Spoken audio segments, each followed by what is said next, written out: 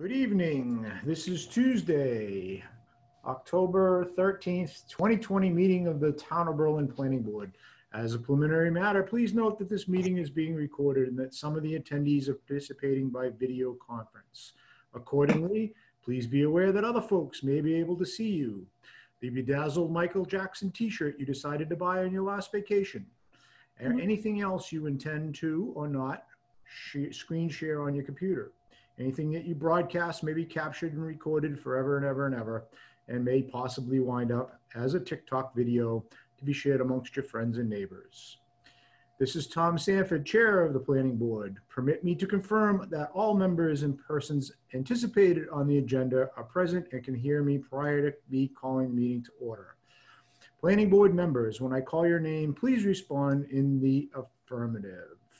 Carolyn McDonald, Here. Timothy Wheeler, Here. Jay Teach, Here. Tom Sanford. Here. Anticipated speakers will be, um, there's nobody on right now, so we'll do that when they come on. A quorum of the board is present, and I call this meeting to order at 7:31 PM Tuesday, October 13th, 2020. This is an open meeting of the planning board to be conducted remotely consistent with Governor Baker's executive order March 12, 2020, due to the current state of emergency in the Commonwealth of Massachusetts due to the outbreak of COVID-19 virus. Specifically, information and general guidelines for remote participation by members of the public can be found on the Town of Berlin website. The governor's order suspends the requirement of the open meeting laws to have all meetings in a publicly accessible physical location and allows and encourages us to participate remotely. For this meeting, the planning board is convening using the Zoom platform as posted on the agenda, which includes links for the public to join in this meeting. Meeting ground rules. I will introduce each speaker on the agenda. After they conclude their remarks, I'll invite each board member by name to provide comment, questions, penetrating insights, and or motions. Please hold all your insights till your name is called. Board members and speakers on the agenda, please remember to mute your microphone or telephone computer when you're not speaking. Please speak clearly and accurately so minutes can be recorded. For the, for any re, uh, response, please wait until you are yielded the floor and state your name before speaking. If a board member wishes to engage in conversation with another board member, please do so through me to avoid multiple conversations at the same time. Lastly, please note that each vote in this meeting will be conducted by a roll call vote. Vote. Thank you all for your understanding and cooperation. So, um, meeting's called to order. I will entertain a motion that we accept the minutes for, as recorded from the planning board meeting dated 9/22/2020. So moved. Tim Wheeler. Second. I have a motion and a second in discussion. Hearing none, unfortunately, I have to, was there a so- comment? No? Hearing none, I'll have to ask you to vote by roll call. Uh, Jay Teach, Aye. Tim Wheeler, Aye. Carolyn McDonald, Aye. Tom Sanford, aye. Okay, unanimously accepted the motion uh, to accept the meetings as recorded last month. Okay, so on the agenda, um, we have the Riverbridge people coming at eight o'clock to continue their discussions with us. Um, we want to talk a little bit about the affordable housing uh, monitoring services and then other timely items. But in the meantime, I figured for the first half hour, there's a couple of housekeeping things that I would like to get done. And then I didn't know whether we wanted to discuss some of the possible um, Riverbridge warrant articles that were written and sent around for everybody's consideration. Because there's some things in there that, I don't know, we need to probably So- figure out where we want to go. Chris, Chris is a participant now. Oh, cool. And, uh, but I think they, when they speak at eight, they may discuss their slim down you know, Okay. anticipated possibilities. So You Um, can hold on that then. Yeah. That sounds, that sounds great. Uh, good. Uh, so first housekeeping item, um, I was asked to, by the town accountant, to sign again these, uh, accounts, the two accounts that we have, our main accounts. But one of the items that had come up in the account was there was an expenditure for printing of the bylaws for six hundred and thirty-three dollars, which I thought was a lot of money.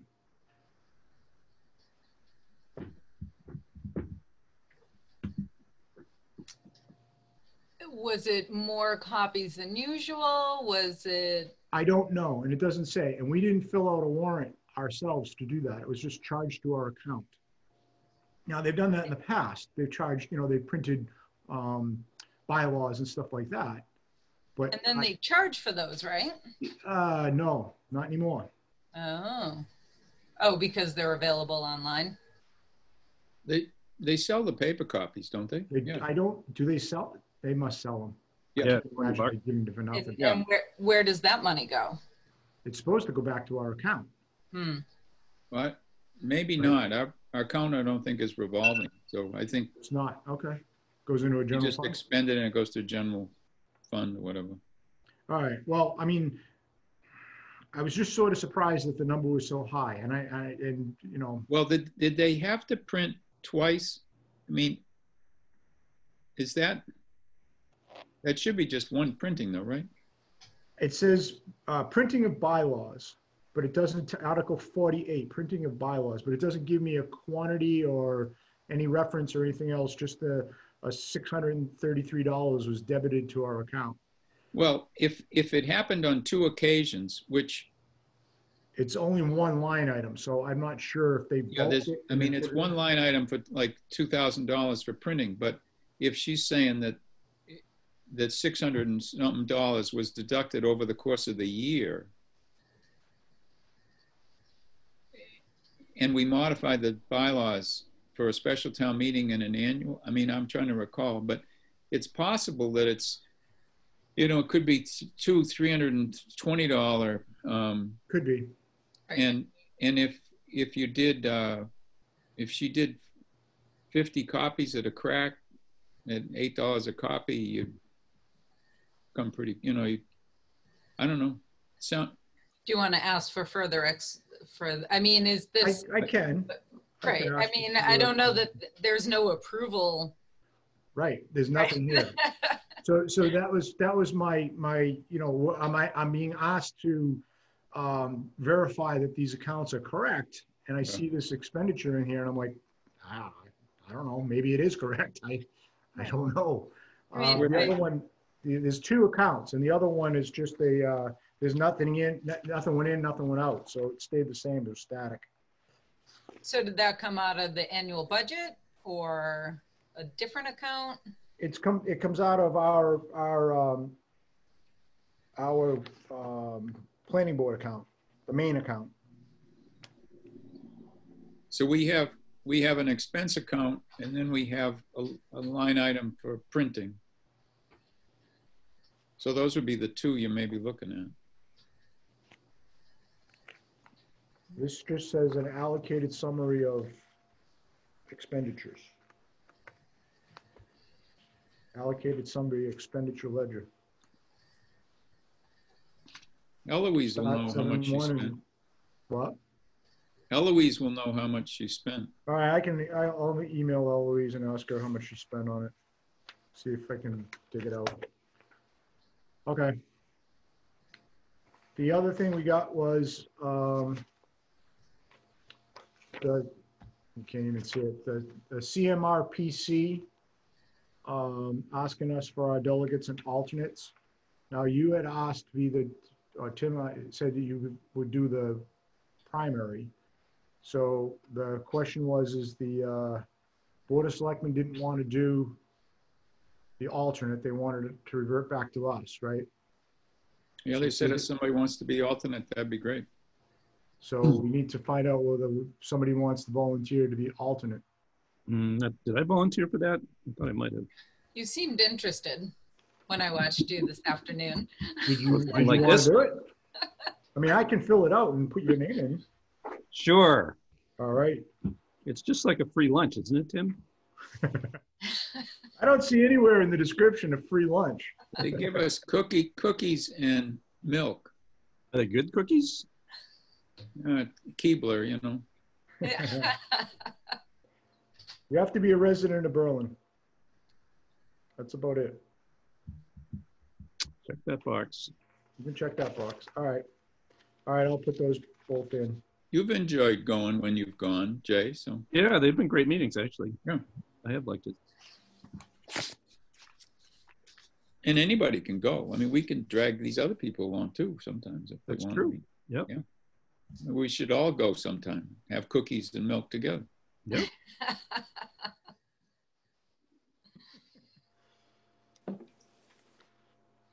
When they're actually in person again. Yeah, Now You just have to have cookies at home.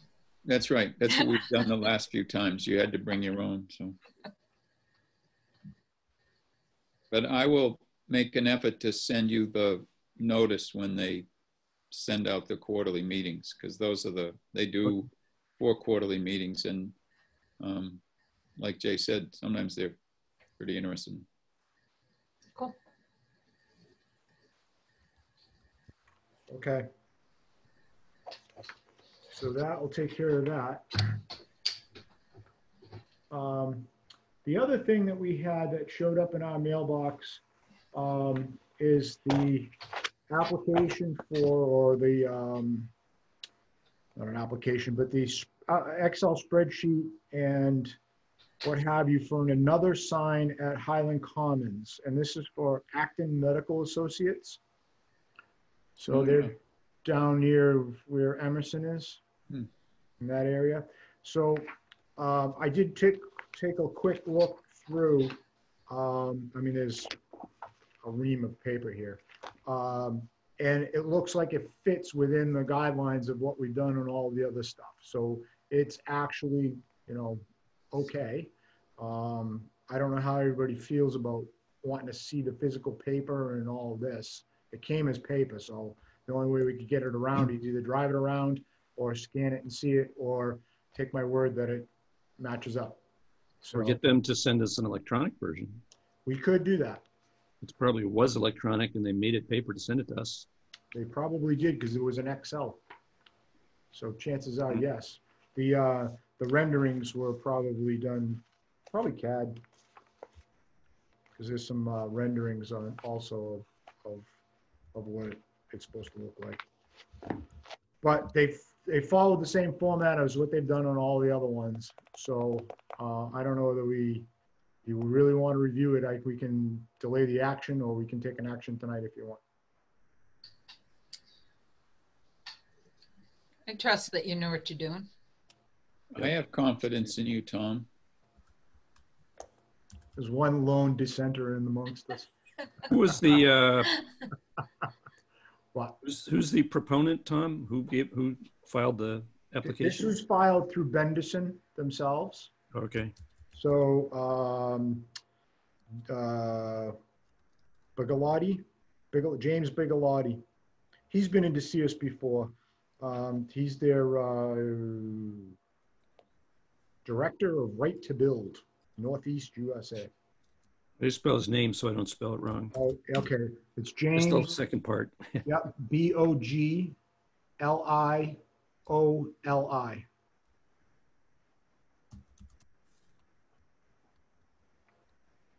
Oh, there's no T's in there then, right? Nope, Big. Okay.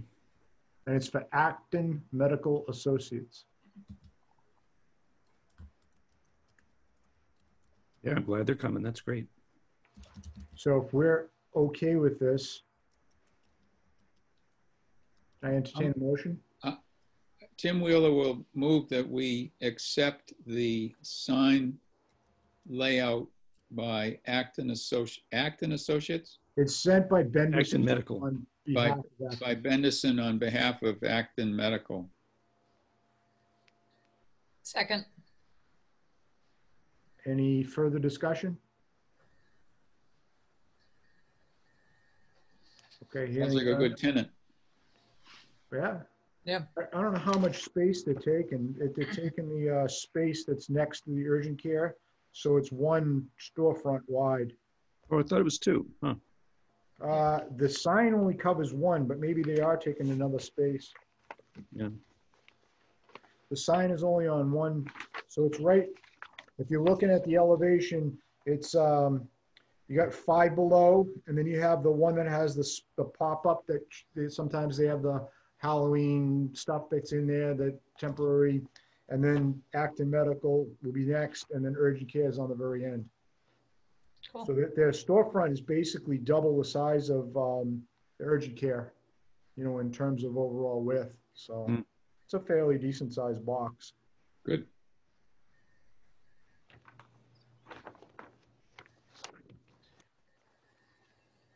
All right, so we need a roll call vote, unfortunately. Um, Let's mix it up. Carolyn McDonald, Aye. Timothy Wheeler, Aye. Jay Teach, Aye. Tom Sanford, aye. So carries by unanimous vote. So what I'll do is I'll send a little note to the building inspector. How- That's what I did the last time and he was fine with how we did it. So this formally allows him to approve it.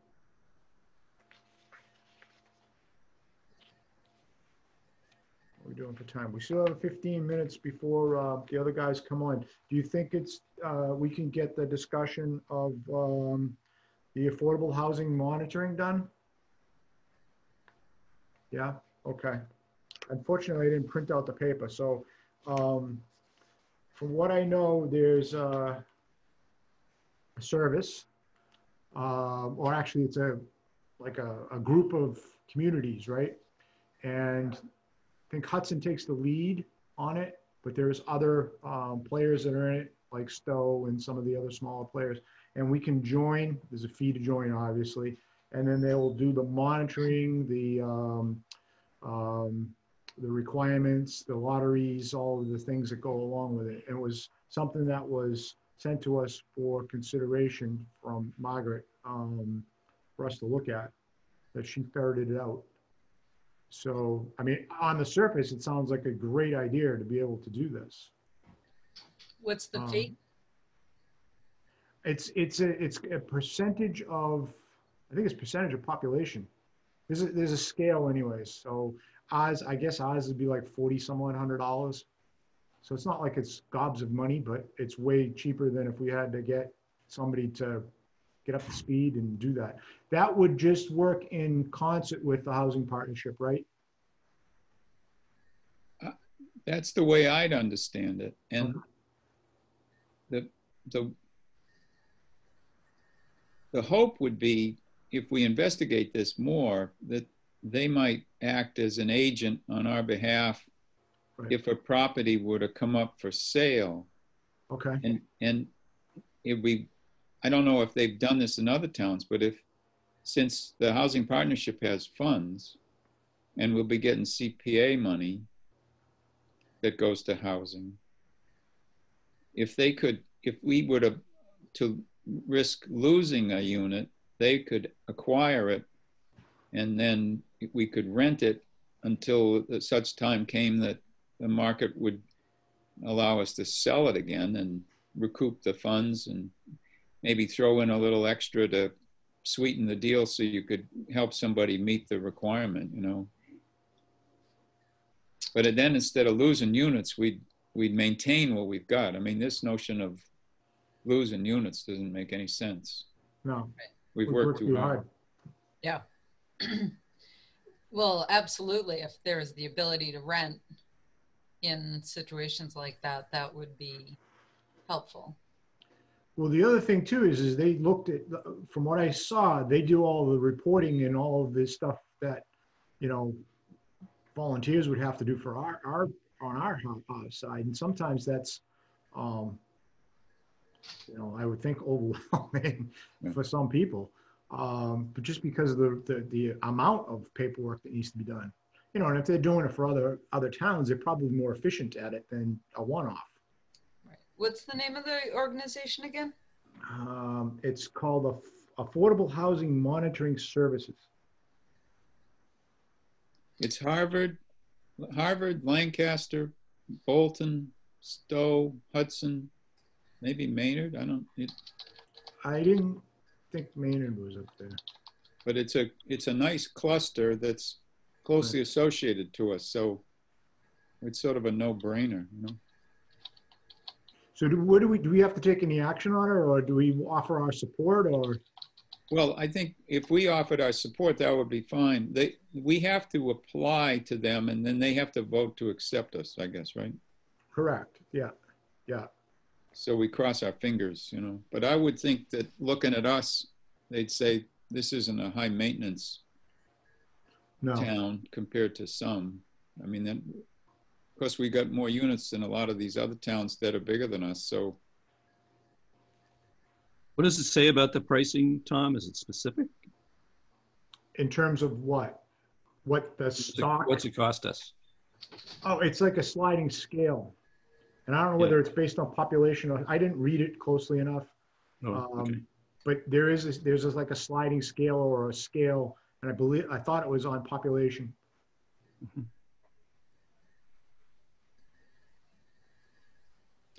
Okay. Is that something you can send around? We all got it. We There's an did? Email was sent around. You didn't get it? No. Oh, I got, maybe I didn't understand what it was. Did it come today or yesterday? No, it came last week or almost two weeks ago now. Oh, all right. That's from Margaret. Yep. I missed it.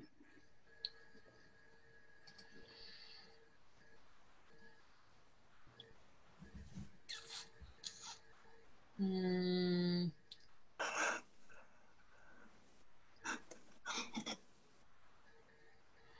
I don't have it. Yeah, I'll, I'll find it and I'll attach it to the minutes.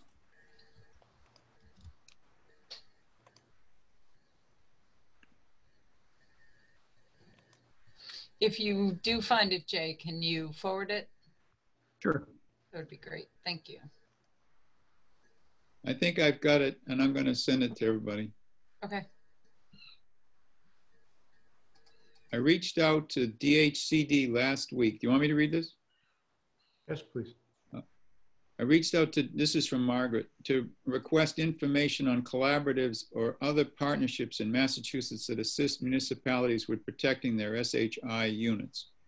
That's subsidized housing inventory. They responded that there are three such collaborations in the state, the nearest being Assabet Regional Housing Consortium, um, frequently known as Metro West Regional Housing Consultant, which is comprised of the towns of Hudson, which is the lead municipality, Bolton, Boxborough, Littleton, Stow, Lancaster, Harvard, and the Devens Enterprise Commission and Mass Development Devens. These municipalities and Devens work with Metro West Collaborative Development on overall inventory compliance monitoring and other services through an intermunicipal agreement. Connected with Hudson after learning of this consortium, and was provided a price proposal showing the estimated fees to be paid by members in fiscal 21. Um, Hudson further informed me that the town is not required to have established an affordable housing trust fund under Massachusetts general law in order to join or remain a member. And uh, price proposals and other relevant documents are attached.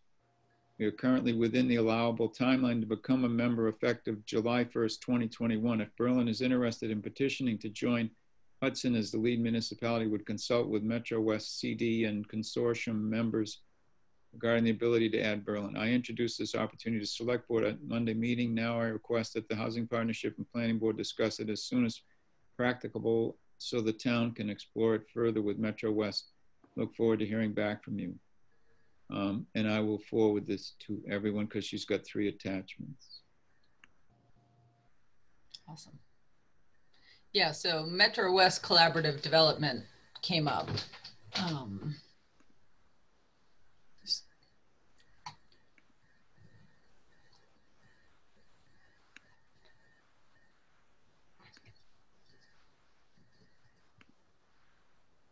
I think it looks good. It's on its way, I hope. Flying through the air as we speak. Yep, flutter, flutter. And presently Bolton pays 4,600, Boxborough 80, well, 8,000, Hudson 84, Littleton 36, Stow 69, Devens 29, Harvard 33, Lancaster 54. And it, it breaks it down into local support, regional activities, and monitoring, and then they have numbers. So it looks like it may be driven to some degree by, yeah, it looks like it's driven by um, unit units that are uh, monitored.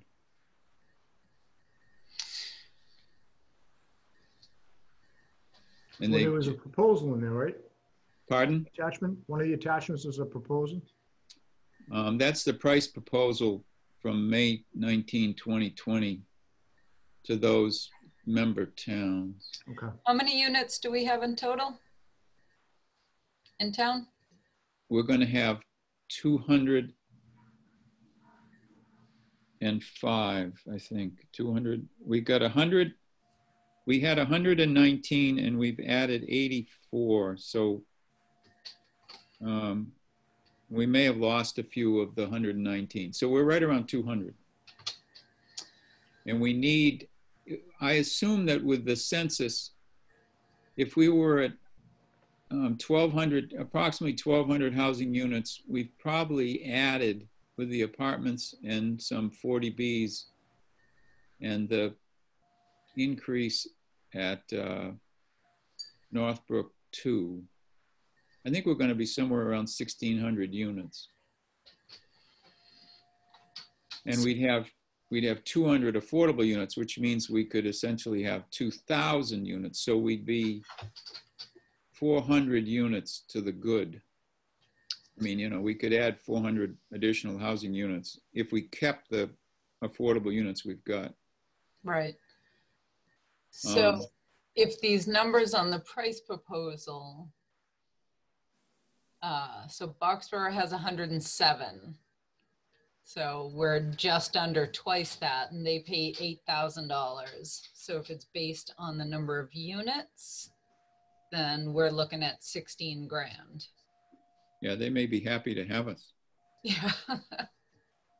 What is Hudson? What is Hudson? Did you see that? Hudson has 112. That's why I'm not totally sure this is number of units. That doesn't, if It was Hudson. 112, it- and they were like 80 some odd, uh, hundred dollars. Yeah, 8,400. But they can't have 112 units. They got to have more than that. They've got to have more than that. There's 112 up at the, you know, thing that's the Yarra built. On Of course. Old, old, um, You mean Street. Simmer Gardens? Yeah. Well, although, you know, your SHI will say you've got X number of units. If they're apartments, then they're counted, but they're not affordable.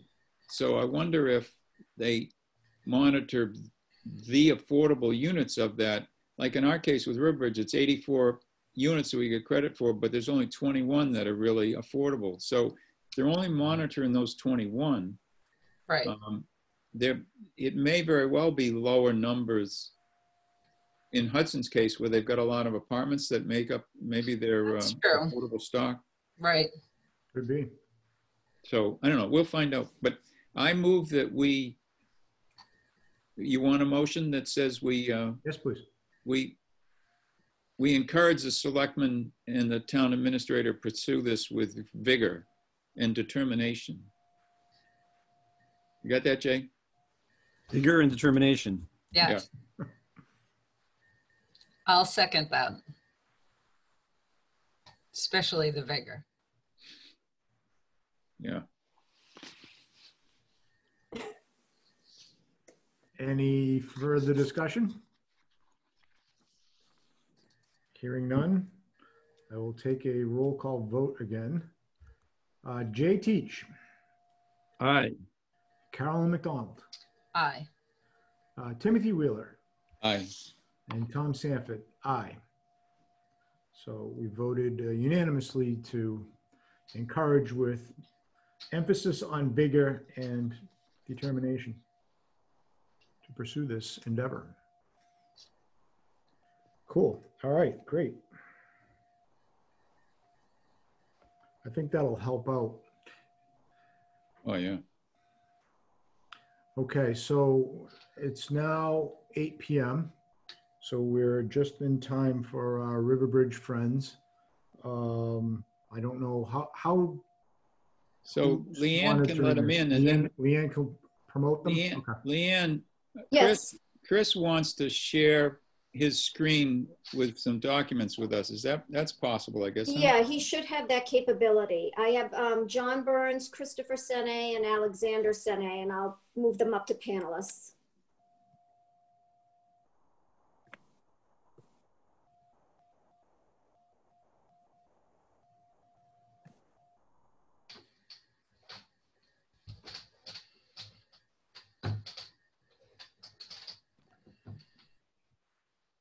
Hi, Chris.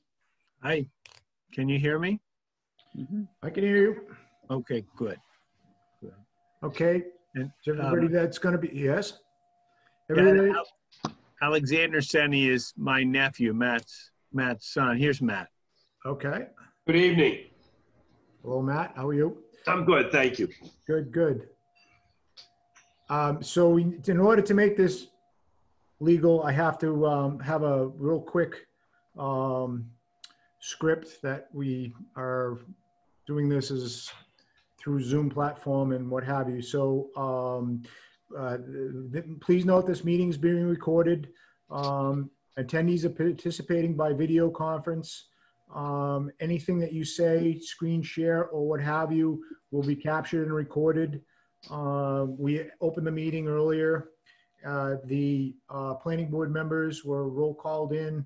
Um, Any of the uh, actions that the board will take will be by roll call vote. Uh, If a speaker is speaking, um, please wait until the floor is yielded to you.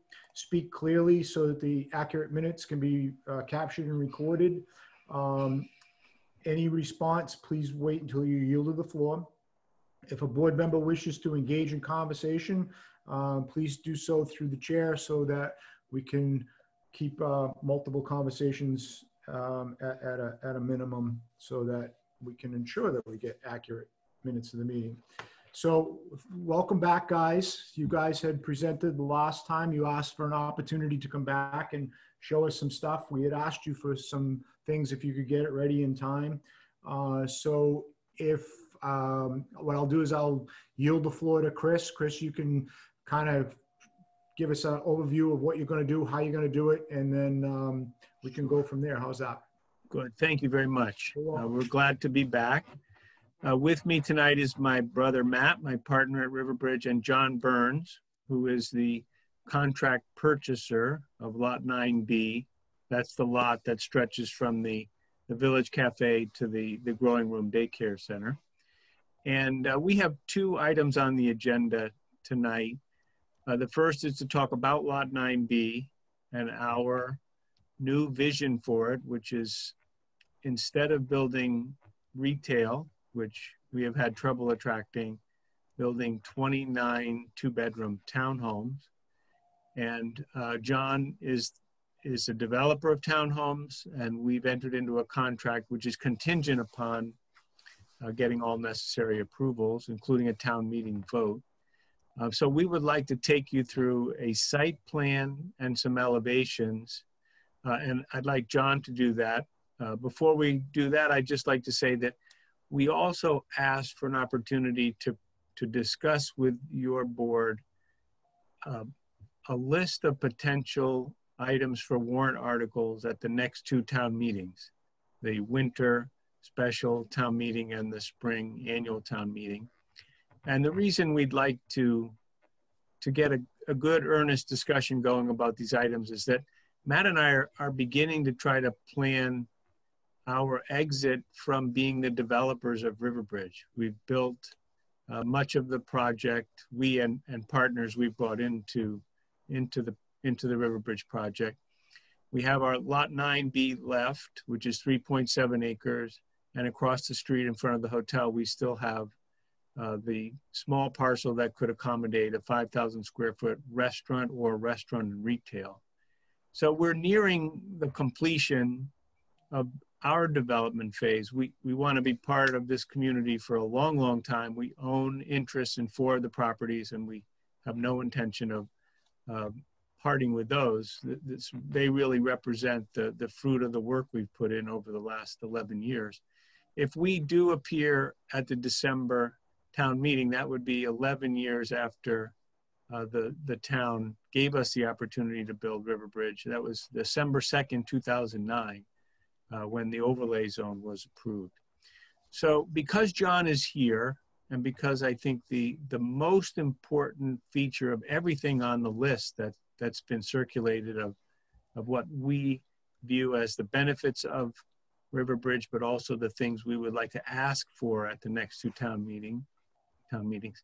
Um, I'd like to turn it over to John and have him share with the board and the public who are watching what we now think would be a wonderful way to complete the development of the east side of River Road West, uh, situated right in front of the, uh, the Rockwell apartment.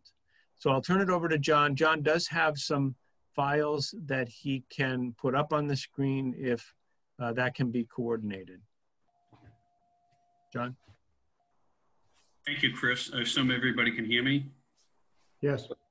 Okay, thank you very much, Chris and planning board members. And I think last time, I don't think Carolyn was present, but I had give, gave somewhat of an introductory to the background of our company and what we've done and so forth. So rather than go through that, if Carolyn has any particular questions during that, please feel free to ask me those or go back over anything. But we were going to use this uh, presentation this evening to show you essentially what the layout for the um, 29 proposed units are, what the buildings look like. So uh, if you could bear with me a bit, this is my um, first time doing this. So um, if you will, let me just come back here. So I want to share my screen with you.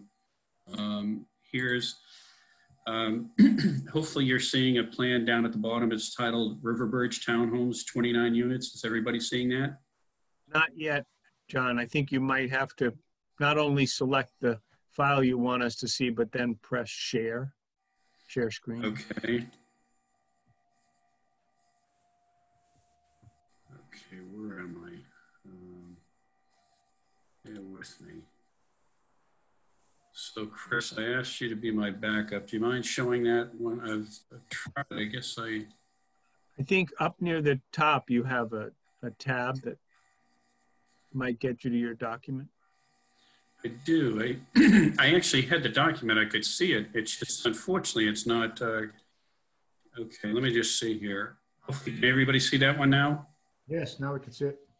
Thank you. Again, bear with me. I, I'm better at developing and building homes than I am at Zoom. So, um, um, so anyways, essentially, as you can see up top here, you see the first uh, rotary, and then you see the second one down here, which is, you know, which is River Road West. And then you see the um, existing entrance to Bassett Road. You see the uh, retail store. So we were proposing to come in here. We have approximately 10 spaces um, right in this area here. You come in, there's a duplex, and then we have a, a fourplex, a sixplex, um, and two triplexes here off of this road. Then we come down here, we have the six townhomes and another five. And here's the existing parking, if you will, for the, um, the daycare center, which is located over in here. Approximately in this location right here is where you will see the um, existing white building. And back here, you'll see where the, um, scrolling across the three existing uh, buildings, the apartments that are there, followed by the other ones that are down here that are off the screen. So this is what we're proposing to build on there. Um, in terms of the uh, buildings themselves, I just, uh, hopefully let me know when you can see that screen, the proposed elevation. If everybody can see those. So this obviously would be the front. And um, obviously we won't have blue windows, but those were just to highlight those so you could see them. Uh, right here, what is not prominent, uh, unfortunately, in the smallest screen is these are white balusters. And this, my thought was that, you know, Berlin is somewhat New England and, you know, try to keep up the style and so forth and not go too extreme. So what we're proposing for these front porches, is, and they're not that highlighted that much. The white balusters, the reason being is that behind here, this area, is um, we're putting stone on the bottom. And you can see we have shutters, and we have a, a door, you know, going in here. And then the garage doors, you can see we try to do a, a nice style garage door. Um, you can see the rear elevation here on the back. Each one will have a slider going onto like a patio. We're doing patios instead of um, decks. I they don't stick out as much and um, they've gone over much better in our other developments. Here are some of the side elevations. And this here is um, on the ends of each building is um, I've room for the fire suppression system, commonly known as sprinklers, you know, that we have on the ends of the buildings. So this is essentially what the style of the uh, buildings will look like. In terms of the floor plans, you know, we have these floor plans that are um, shown. So what you're looking at right now is the first floor. Excuse me, each one will have a one car garage. And you can see here's the porch that we have out front that I was trying to explain. The balusters will be right here, followed by the stone that's uh, against here on the, this portion of the home. So you basically walk in the front door, there's a closet, there's a half bath. This is the uh, area to go either upstairs or downstairs. By the way, all these are going to be on grade due to the existing topography out there. And then we have a kitchen up in this area here with an eating area, followed by a living area. And when, uh, by the way, they're all the same style units uh, throughout. We, we just chose a triplex on here just for showing you. And so when you saw those, a duplex, a triplex, or a fourplex, they're all going to be the same floor plan, but it would just um, add an additional unit or subtract whatever case it is on there. Here's the uh, upstairs floor plan. As you can see, when you come up the stairs here, there's an open area. Um, there's a common bath that's up here uh, off of this, uh, probably used by bedroom number two right here. Washer and dryer, and then you enter the master suite, which is in here, your closet and the master bath. And that's essentially it. We're trying to see if we can market these towards a um, maybe a first-time home buyer or somebody leaving like an apartment or somebody um, that's essentially looking for something in the I hate to say it more affordable range these days because as a developer it's been very difficult this year with COVID. We've uh, endured some substantial cost increases in materials. So that, that's that's our um, objective right now is to go towards like first time home buyers. And um, that's essentially it. I could expand on any of that or all of that if you'd like. Go back to any particular plan. Can you go back to the, um, the, the, uh, uh, I guess it was the, not that one. Well, I guess it does step in and out. That one. So, Okay. yeah, okay. Elevations and then the rear elevations. Okay. So the front is on top. Yep, yep. I get it. I was just, from, from these elevations, you don't get that um, stepping uh, that you do on the floor plan.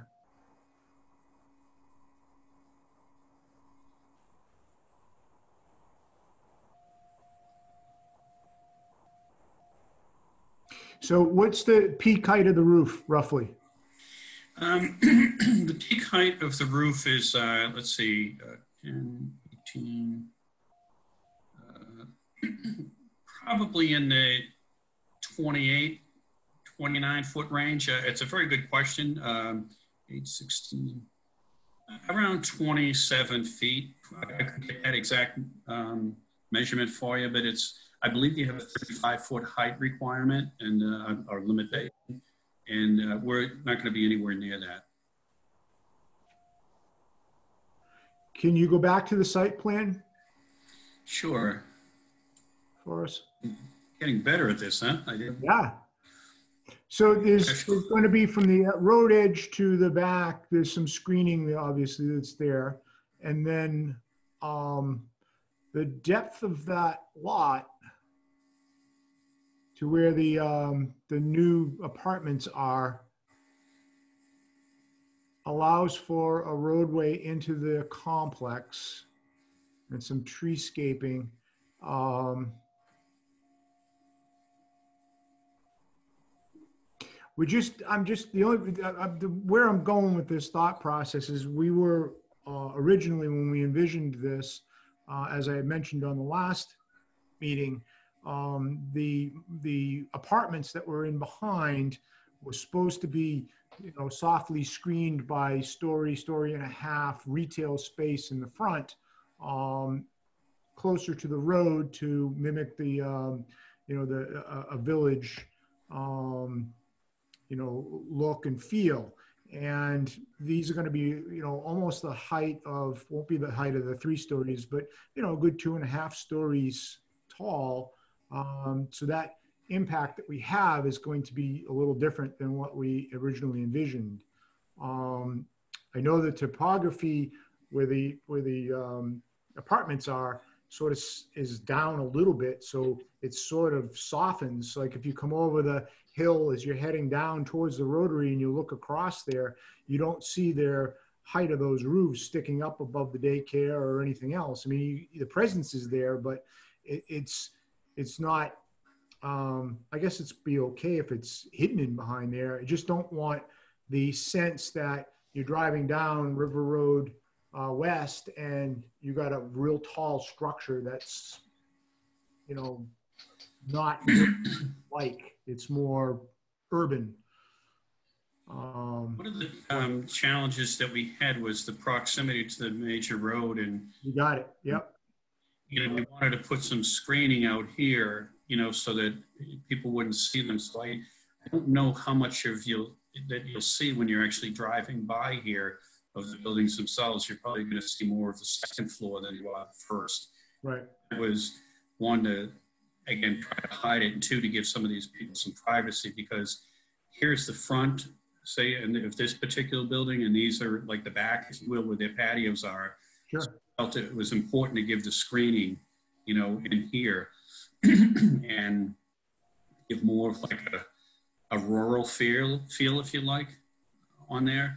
In terms of, you know, seeing these buildings here, um, this will screen them somewhat, but if you're back over here in the rotary, I don't know how much it actually is going to screen. Right. And, and that, and right now, when you're back on the other side of the rotary, uh, and you're looking across and you see the three-story buildings that are exist there now, um, they're not appreciably, they're, they're a little bit higher than the daycare, but they don't jump out at you as these large units that are stuck in the middle of a field. And, and I think part of that is, you know, the Olive Board and the Senies and, um, you know, Rockwell Group kind of worked close together to, to, you know, get the most bang for the buck, but don't create this, you know, a, large, you know, field to that, that whole, you know, we're, we're definitely smushing everything into a small area. The site was a lot bigger, but it was very important to preserve a lot of the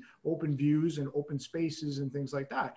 And, uh, you know, I'm not saying that I'm opposed to the heights of this. I understand the economics of this and you have to get it to, to, to um, be marketable. Um, I just want to make sure that what we're being asked to buy into, that we're going in it with open eyes because it's different than what we originally envisioned for this whole site, you know, numerous years ago.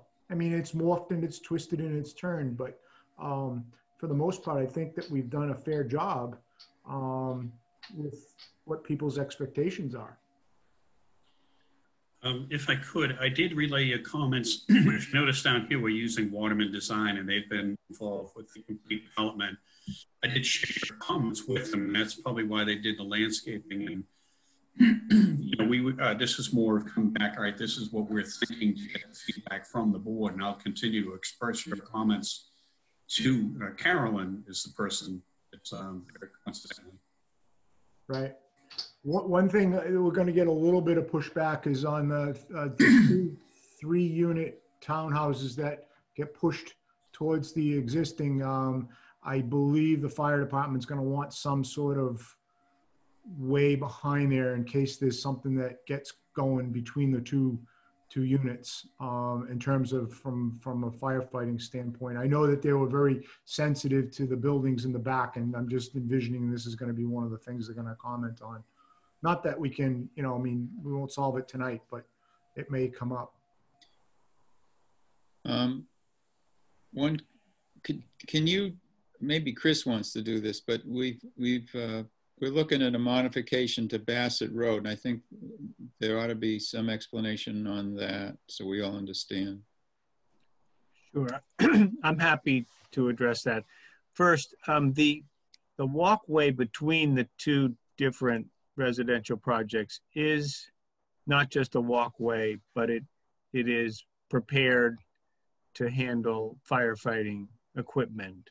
This was designed so that it's actually a road, but then landscaped with a walkway on it. The, those two triplexes do look awfully close to that emergency roadway. So we will have to take a look at, we will have to take a look at that. Uh, you're right, uh, Tim. Bassett Road was actually designed to be a U-shaped road that came in near the cafe and the small roundabout and came straight, straight uh, east to the treatment plant and then turned a corner and came along the eastern edge of the, the Rockwell and then turned west and came all the way back out to River Road West. And it's only recently that we thought about making this break in the road, preserving Newsom Road, which comes around near the daycare center and will come all the way through Lot 9B. Um, and we did review this with the Rockwell, an NRP group, and they gave us their blessing. They have two uh, means of access and egress from the apartment project, Tyler Road behind the daycare center and Bassett Road. And they're pretty comfortable understanding that most of their residents are going to want to come out Bassett Road near the roundabout because that allows them to turn left and go over to 290. And even if you connected the, the more northerly section of Bassett Road, uh, folks coming out of the residential area would have to turn right and go around the larger rotary before they can get to, to 290.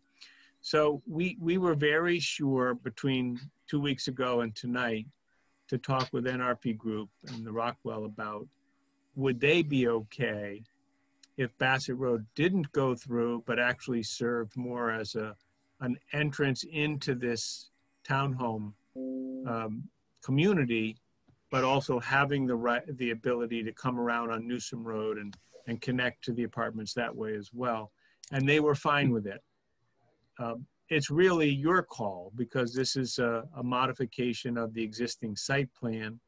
And so we don't yet know what your feelings are about it, but there does seem to be good opportunities for access um, and egress. So we thought it would give a stronger sense of community to the townhome project here if it didn't go all the way through. But we're open to, to hearing your view on this as well.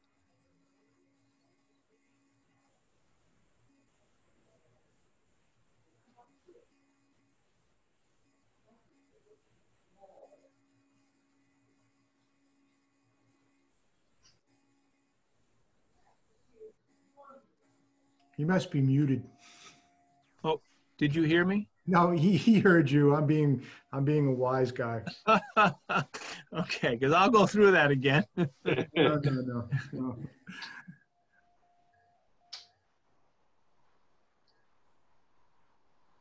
If it helps on this question, this is Matt. I think you can hear me. Yes. Uh, I'm meeting with uh, both the fire chief and the police chief tomorrow just to review this plan and get their input, which we'll share with you at subsequent emails or another meeting. But I'm meeting with both of them tomorrow. I would have met with them earlier, but of course, we probably, I only got the design yesterday. Sure. So I'll be with them both at the same time tomorrow afternoon.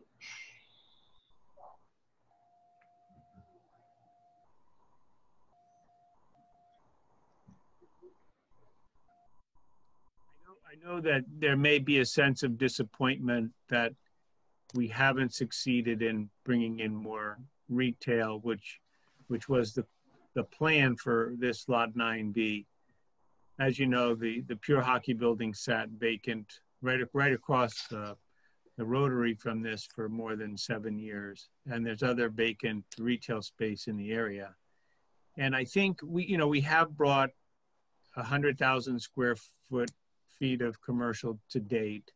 And certainly the parcel in front of the hotel will be further retail that has been site plan approved for a restaurant and retail. I think what's happening here and what will be the result is that the east side of River Road West will be a residential community made up of two different types of housing. Um, you'll have the daycare center and you'll have the cafe there. And I think it will look quite handsome as you as you drive through uh, River Road West in, in either direction. I think these different housing models can can be made to to blend together pretty well and i'm not sure it's even going to ultimately be noticeable that these are two different projects i think what will be clear is that the town chose to zone non-single family homes into this area and and in a way by, by doing that protected single family areas in the whole town from further 40b projects so as we talked about 11 years ago, we've we proposed zoning a different type of housing here in South Berlin near 290. And I think this is another dimension of that.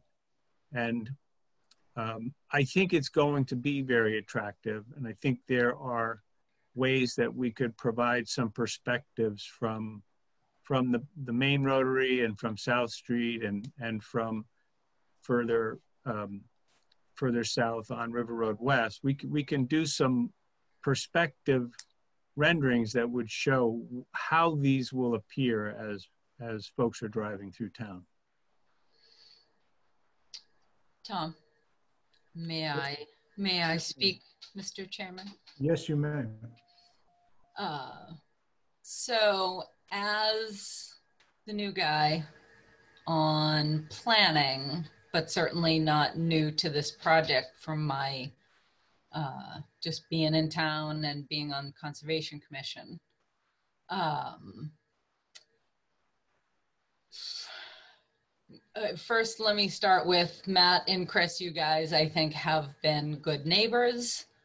Um, and you know done help the town with our 40b levels and everything but i really have to say how much I don't like this. um, I hear from everybody how shocking it is the scale of the apartments that are there. Um, I don't I don't feel like that I know anybody who would be in support of this. Um, just there's so much building going on in Berlin. There's it's been a we've had a lot of stuff going on between Highland Commons and the solar farm and the apartments. Um, those trees aren't gonna really be screen adequate screening for about 20 years. Uh, and I really don't want to be a bummer about it, but I'm I'm having a hard hard time with this.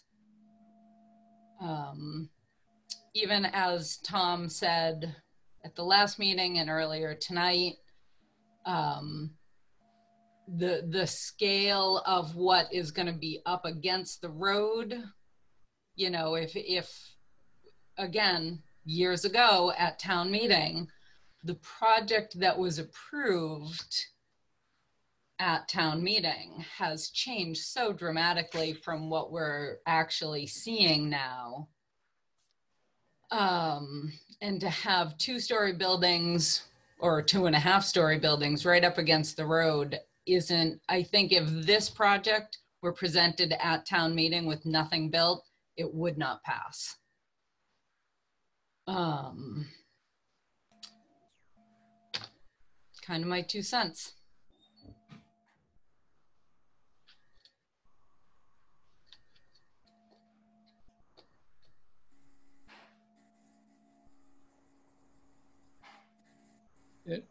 Question about the um, affordability. We're, we're still proposing um, not to include any affordable units in the 29. Is that the plan? That was what I presented two weeks ago. And my suggestion on this was that we've gotten the town credit for 84, which when divided by 204 units is 41% of the dwellings that exist today are on the subsidized housing inventory list. If you absorb 29, you'd be dividing 84 into 233, which would be 36%. So still, Riverbridge in totality, if none of these were affordable, would be providing 36% of the units as qualifying for the SHI list with the 21 actual affordable uh, apartments. So that's a that's a position that makes sense to me, but I also know that the town has the inclusionary zoning bylaw, and you have a general approach that any project of more than six homes or six or more would um, should have uh, some affordable units in it. The other point I made two weeks ago is that we would like to bring these units to market in the high 300s because I think there are there is a, a market for that price point. In fact, these these have a single car garage and um, are are designed to hit that part of the market. And when the developer John has to amortize um, the affordable, the, lower um, revenues from the affordable units over the, the, the overall price goes up a bit. And also John can speak to this much better than I can, but with for sale product, it's often very hard to get qualified buyers, people who fit in this middle area where they have enough uh, assets and income to qualify, but but not too much. And it can sometimes take a long time to get those sold or resold.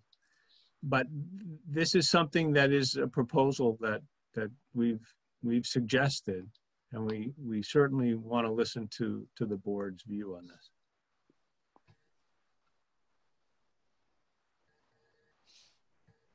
This is John, if I may add to that. Um, I have done a number of affordable um, developments, and as Chris mentioned, the hardest part is getting the potential buyers to qualify. And um, I say this in a very respectful way because I don't have any issue with doing them. It was more um, somebody may not have the credit because there's a misconception out there with some people that you know, you have to come in there, you know, there's anywhere from like two, two and a half percent down, the payment is required. So someone would need that. It can come from a family member. There are some uh, restrictions on that.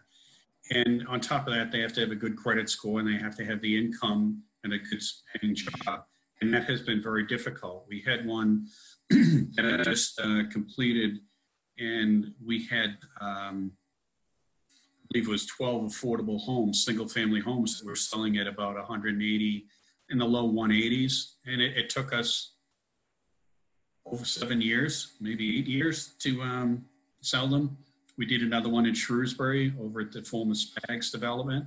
Uh, you know, we've done a number, and it's very hard to get somebody you know, to meet all the qualifications. Not necessarily the state; they meet the state qualifications, but it's meeting the financing qualifications that's been an issue.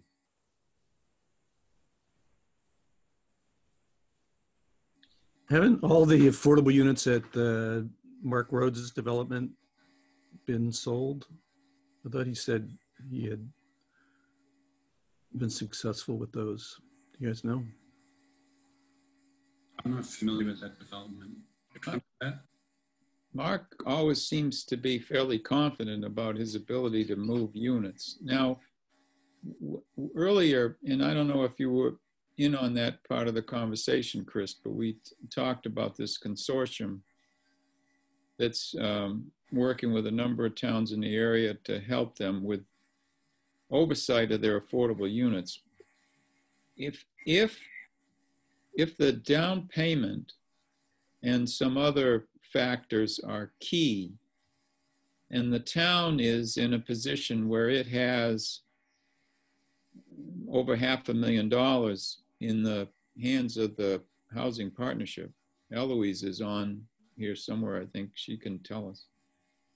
Um, if if the town were in a position to help um, in some of those instrumental costs initially, I wonder if we'd be in a position where we might find more uh, applicants that would qualify and, and be able to find their way forward, or whether it's just a long-term problem that they just never end up with the income that is necessary to uh, to pay their way.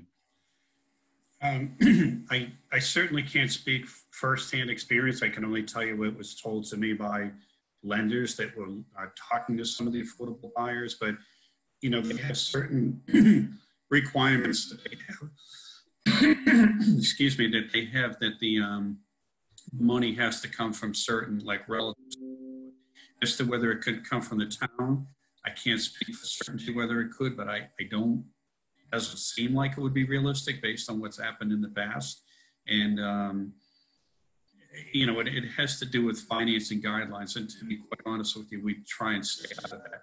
We would hire, you know, for because there's so many rules with DHCD that we would hire like a specialist and they we would have to pay for all like the marketing. They would advertise it in various newspapers, websites, and so forth.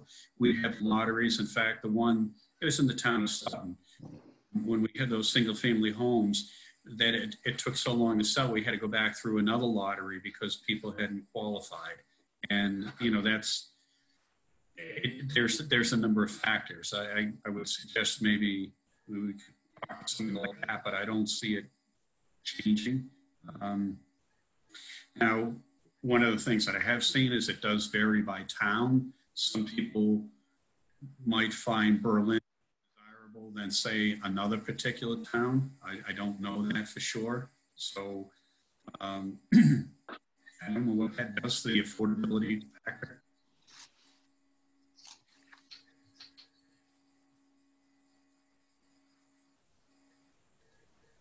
If, if I could comment on um, something Carolyn brought up. It, unless unless you'd like to have further conversation on the affordable. I just want to make sure I understand that the, a lot of the credit we're getting for the existing apartments is because they're rentals, not because they're affordable. Is that right? Yeah, I'm, I'm happy to answer that, if that's okay.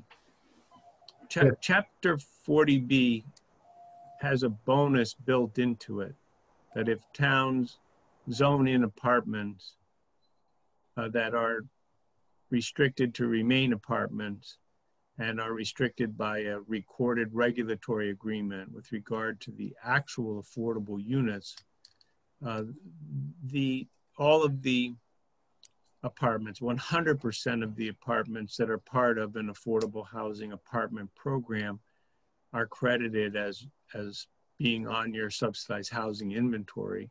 And that's because the legislators who adopted Chapter 40B recognized that apartments being built in towns that wouldn't ordinarily choose to, to encourage them are a form of a, affordable housing, even those that are not leased at affordable rates. So this is actually built right into Chapter 40B, and that's what we were looking at when we designed the, uh, the residential component. So I, I read somewhere that there was, you know, the 40B program hasn't gone exactly as originally intended, and there was some thought of removing that uh, provision.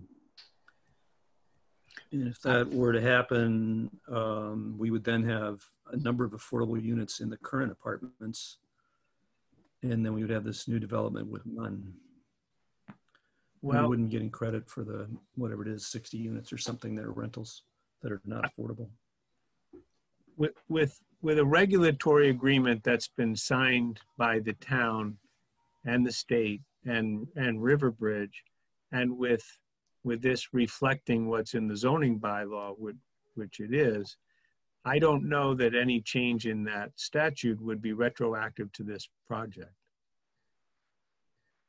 There's a recorded regulatory agreement on the land records which dictates exactly how this, this, uh, the 84 units are to be handled.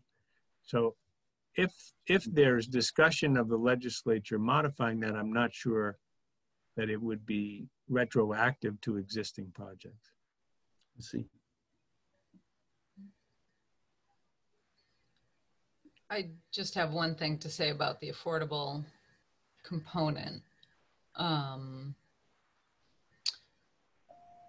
we have we have a bylaw with the requirement of a certain number of affordable units. I totally understand what you're saying about one project being over. Um, but I think we need to seriously think about not uh, requiring some level of affordables just because why did we allow it in one project and we won't allow it in another project? I think that um, I think it just sets a precedent that we might not want to do. Um, they are definitely two different projects. One's townhomes for sale, one's apartments. Um, so that I don't, I don't know that that's a road we want to go down. I understand. That, um, that comment makes a lot of sense, Carolyn. If I could go back 11 years ago to the artwork we showed at the public forum in front of the planning board and then the public hearing and then at the town meeting, um, we showed a lovely design that had residential units above retail Mhm. the way organic main streets used to used to develop decades and decades ago and that was 11 years ago and i did believe that we could find underwriters for that banks that would lend us money to build that very nice looking traditional main street look and then we didn't banks tend to want to lend money so that commercial can be built and they want to lend money so that residential can be built, but none of them want to build, uh, want to lend money so that a developer builds them both as part of the same structure. So the vertical mixed use was our concept and we did show this to the town 11 years ago and then we we failed to be able to implement it because of those financing constraints. But I'm as disappointed as you are that we weren't able to do that. And actually, in my office, I'm, I'm looking at the artwork you're probably remembering, and many people remember. It's hanging on my wall in my office, and it is very sweet. It's a very lovely form of, of development, and it's something that in our childhoods we saw on main streets, and we really wanted to bring that to, to River Road West we just were not able to. And I think the biggest lesson I've learned throughout this project is that the market really dictates what we're actually able to do. I, I also want to say that the zoning bylaw didn't require that. That was the artwork that we showed, and we showed it because we earnestly wanted to bring that image. Um, when we didn't, it didn't require an amendment to the zoning bylaw. It's just we didn't secure that financing to build that project. So I know others have spoken with me about this same feeling that you showed us one kind of aesthetic and elevation and artwork, and that's not what Riverbridge looks like. And I share that disappointment, but I also feel that we've brought a collection of uses that are healthy. The commercial is occupied, it's paying rent, it's vibrant commercial. I think it will all be a success. And the residential, you know, we did what we set out to do, which is zone in apartments. And I know that it's a big scale. That's seven large apartment buildings, although I think the way they've been placed has been very tasteful. Um, so I understand the disappointment, but we have worked as hard as we could to, to fulfill that initial vision, and, and we just weren't able to, but we didn't uh, become discouraged. We just kept trying to figure out what will the market bring here. We also wanted a market. I can't tell you how many times in town I'm asked, can't you bring Trader Joe to Lot 9B? I wish we could. That is a, a, big traffic generator, and we haven't generated as much traffic as, as we had planned to because we had planned to have a 25,000 square foot market. But Trader Joe won't come, and we haven't been successful with other kinds of retail. The other thing I'll just say this is not really so much a planning concern, but it's a concern to me as the president of the Riverbridge Association, Inc., which is our not for profit owners association. We own this waterworks system, which is permitted by DEP and provides very clean and healthy water for the hotel and the apartments and everyone else. You know, we, we can't make that work without flushing enough toilets and without having enough water use. And retail uses very little water. And so we tried very hard to bring a major restaurant to Lot 9B, a 7,000 square foot destination type restaurant, not a chain, one of a kind that would have been great. That never did happen. We signed a lease and we were in this in the financing stages when the tenant pulled out. That would be a good water user. Restaurants use a lot of water. These townhomes would be a good water user. And so part of my motivation as the person responsible for making sure that our water district is, is in good shape, our water and sewer, is I'm hoping we would really like to find a good constructive use for Lot 9B that is pleasing to the town, but also uses sufficient water to make the water district work. So again, that's not a planning concern. And we knew that the town didn't have public water and public sewer when we first bought the Reese family property. But one of the things that motivates me toward this proposal is that uh, this is a very, this would really complete the waterworks program.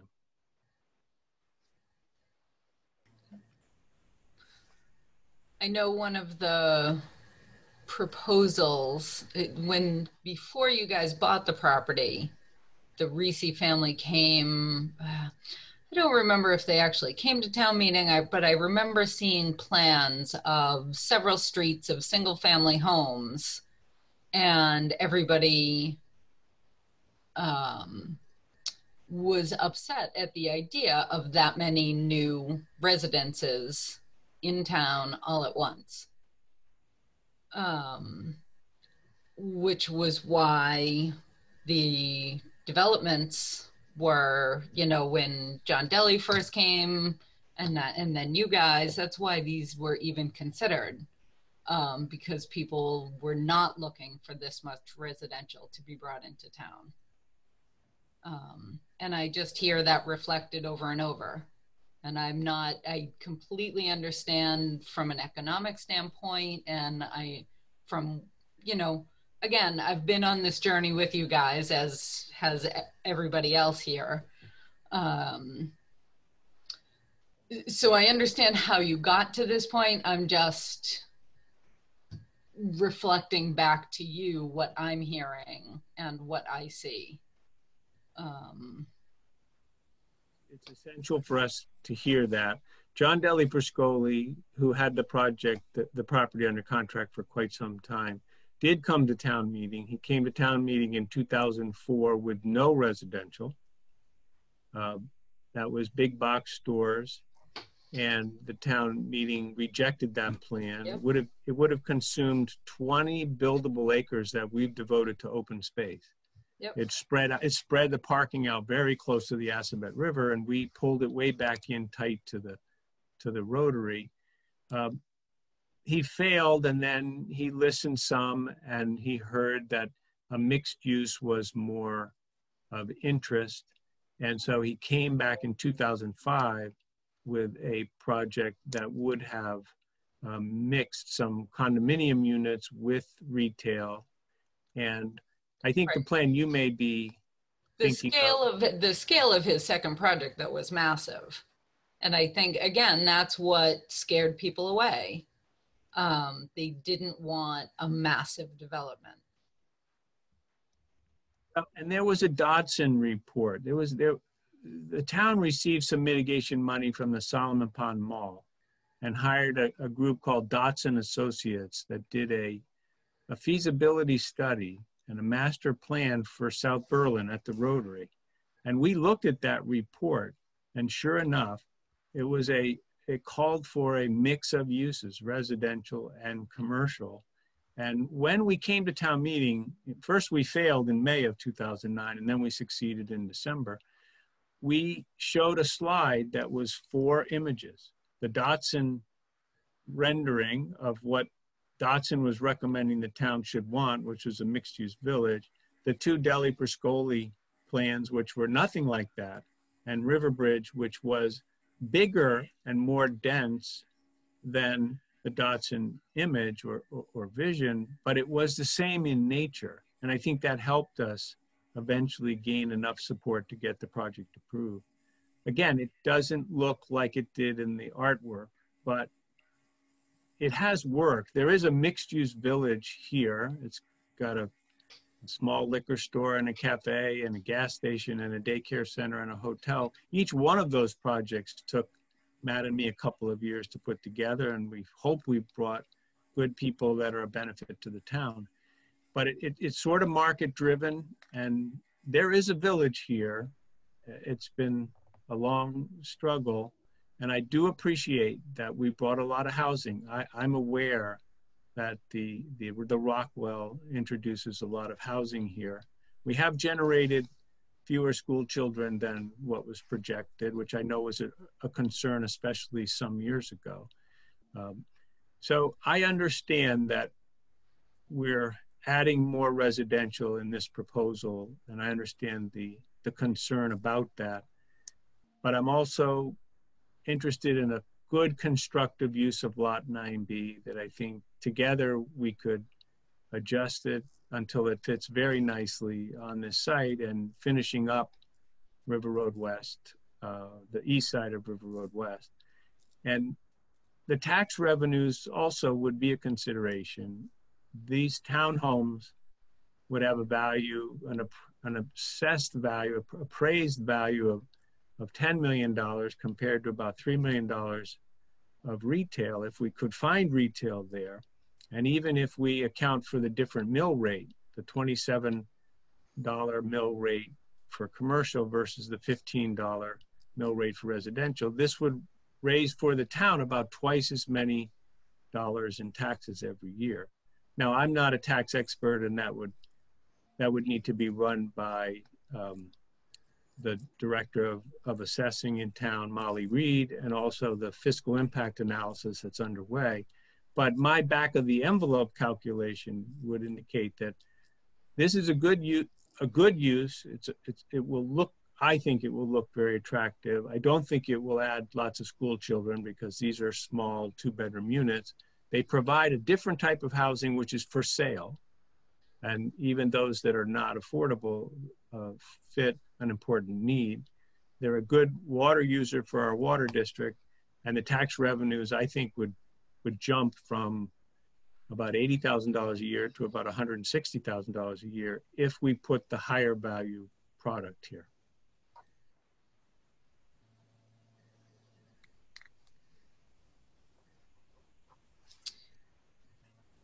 When you say higher value product, you mean higher end townhomes? I mean, if you compare the the assessed value of of these 29 homes and the assessed value of the growing room daycare center and the cafe combined, which is about what you would put on lot 9B if you could find retail users. The one would have a, a value. You know, when we get our tax bills, Yeah. the first thing they do is they show what is the value of the land and the buildings and the total, and then mm-hmm. they apply the mill rate. You know, you're really talking about a difference of 3 million to 10 million. Now, again, Molly Reed should check me on this carefully because I don't want any voters making a decision based on what I say would be the tax revenues. But as I look at it, these units at a value of $350,000 a piece would be about $10 million. And again, even the applying the lower mill rate, your revenues would be considerably higher. Again, not really a planning consideration, but a, but a part of the mix here. So I'm gonna play devil's advocate here just for a second. So let's say, because another thing that I have been talking about um, in the couple of months I've been on the planning board is, you know, not necessarily affordable by the state standards, but affordable for Berlin. Um, you guys seem to have at least heard that and want to bring these units on in the high threes, low fours, which is still higher than what I would like to see, but I understand. What assurance are we able to get that when all is said and done and these are built and put on the market, that they're not going to be 450, 475?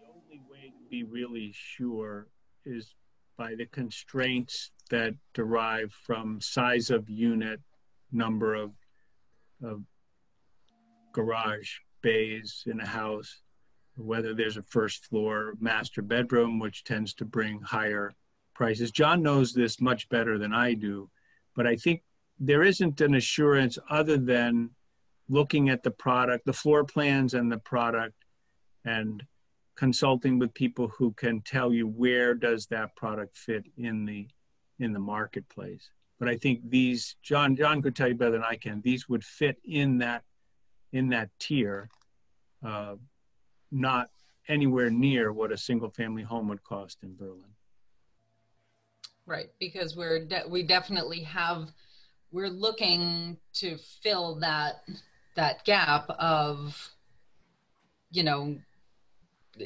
everything that's being built in town, and there are reasons for it and everything, but most of the new construction in town is three quarters of a million and up.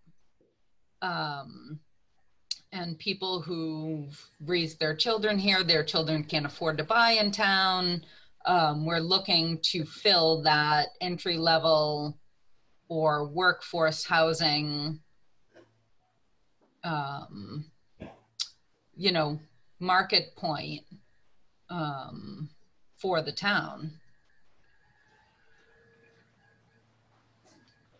maybe you could comment a little bit about how how do you evaluate what you're talking about putting here in terms of where it occupies in the in the market Thank you. Um, I was going to address it. I, Carolyn, again, you missed the last, um, you know, I'm sorry. I watched it this afternoon. Pardon me? I watched it this afternoon on YouTube. All right. So Good I'm up, to, I'm one. up to speed. Okay, all right, well, good. Um, so I've been doing this 37 years, and sometimes, you know what it is, is that the reason I think Berlin, the prices that you say are so high, is it's a desirable town, and you know people want to be there, and I think the land costs are high, and they they don't really have much of an opportunity to build something less. And if you look at what they're building, you will see that this doesn't necessarily compare to it. And by that, what I mean is these are two bedrooms on the second floor. When you get a, um, I have to be careful with this comment, but when you get an older crowd, they want the, fir- you know, the first floor master bedroom. And these are generally speaking people that have made some money on their existing home. You know, they may have bought it for 30 years ago for a lot less money, and now they can afford to pay some of the high prices. Are you getting people that buying the single family homes, they couldn't afford towns that are I don't want to pick on any towns, but say like, you know, Sudbury or whatever that are moving further west just to get something and three quarters of a million is a bargain compared to what you would pay in those towns. But looking at our product, we don't have any of that. With the two bedrooms up and with the one car garage, it restricts what we can get. Generally speaking, people want a two car garage. And we've intentionally, you know, shortened the footprint on these here so that they're only about, uh, uh, I believe they're 26 feet wide. You know, if we could have gone with a 42 foot wide footprint, we would have um, gotten a two car garage and the prices would have been substantially more. But because of the type of unit that we're proposing, we can't get the kind of money that they're talking out there. The one thing I will say is that this was a year ago before the COVID pandemic hit. Um, we could probably say with reasonable surety that we could hold prices to a certain level. But, you know, there's situations, this may floor you, I don't want to get way off line with this here, but appliances are very hard to get. Pressure Oh, yeah. appliances. I mean, people Yep. say, well, going to Home Depot when I see them, it's like, well, try and buy them. Um, you know, we're, we're paying more, you know, just to get them. And we're paying more for everything you can think of, you know, to try and get them. Um, so that's the one thing that's, you know, like holding us back. And that's also contributing to higher prices. It's not as though developers are making more, they're paying more. And, uh, if the analogy works, it's no different than if an incident happened around the world and all of a sudden you wake up tomorrow and gas prices went up 20, 30, 40 cents. Um, well, why did it happen? They bought that gas a long time ago, but they, it goes up. We, we're hit with the same situation uh, over the last six to seven months. So answer the question, our intent is to keep the prices down. We're going after a, um, a lower market. We're hoping that maybe even people in Berlin, that some of their children could buy here. If you had asked me to, talk, you know, be more specific in terms of the market, I think we're looking at people that are in their high 20s to low to mid 30s that we're looking at, you know, for buying these units here. That's the market we're going after. Right. Hopefully that addresses it. Yeah, no, I know that there's no way you can guarantee it. I just, it- from my perspective, I wanted you to hear what it is that I'm interested in seeing and why. Um, Well, hopefully I gave you some assurances in that, that, you know, again, because of the home we're building, um, know, for instance, in our other developments, our other townhomes that we've had to do because of COVID, one of the things we've had to do is put in home offices in there, you know, and that's gone over very, very well. Uh, If you look at these floor plans, it's nearly impossible to put a, an office in this here because the footprint, they're only about 1,500 square feet. There's no real place to put it.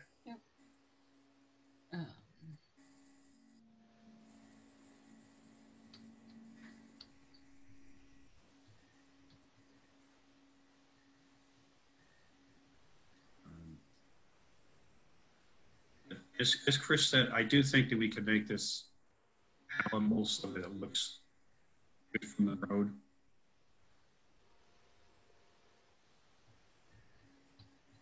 We could provide some treatments of those perspectives.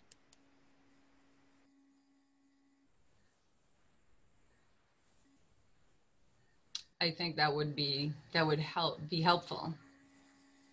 Certainly. You're gonna need it if you're gonna go to the, you know, to the larger public and they're gonna want to see what they're buying into.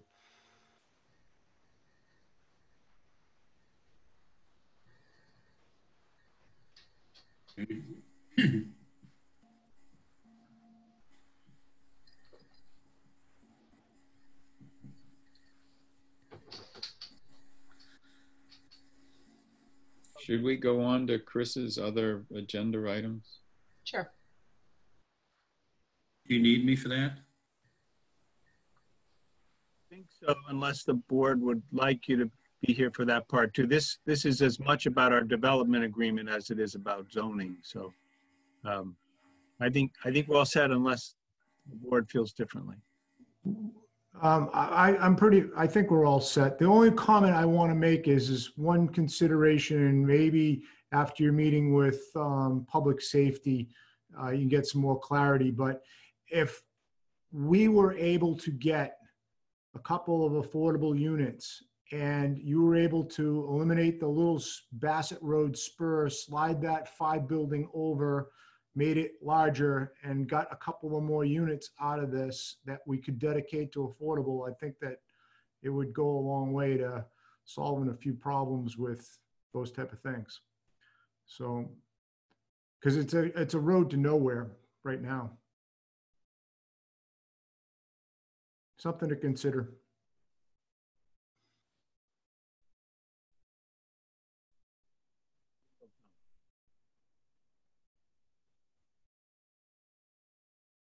If anybody else has, or if nobody else has anything, any of the board members have anything to say or further this, then I think we can pivot, Chris, to the other part. John, thank you for joining us tonight. Thank you, everyone. We appreciate it. Thank you, John. Good night. Welcome. Good night.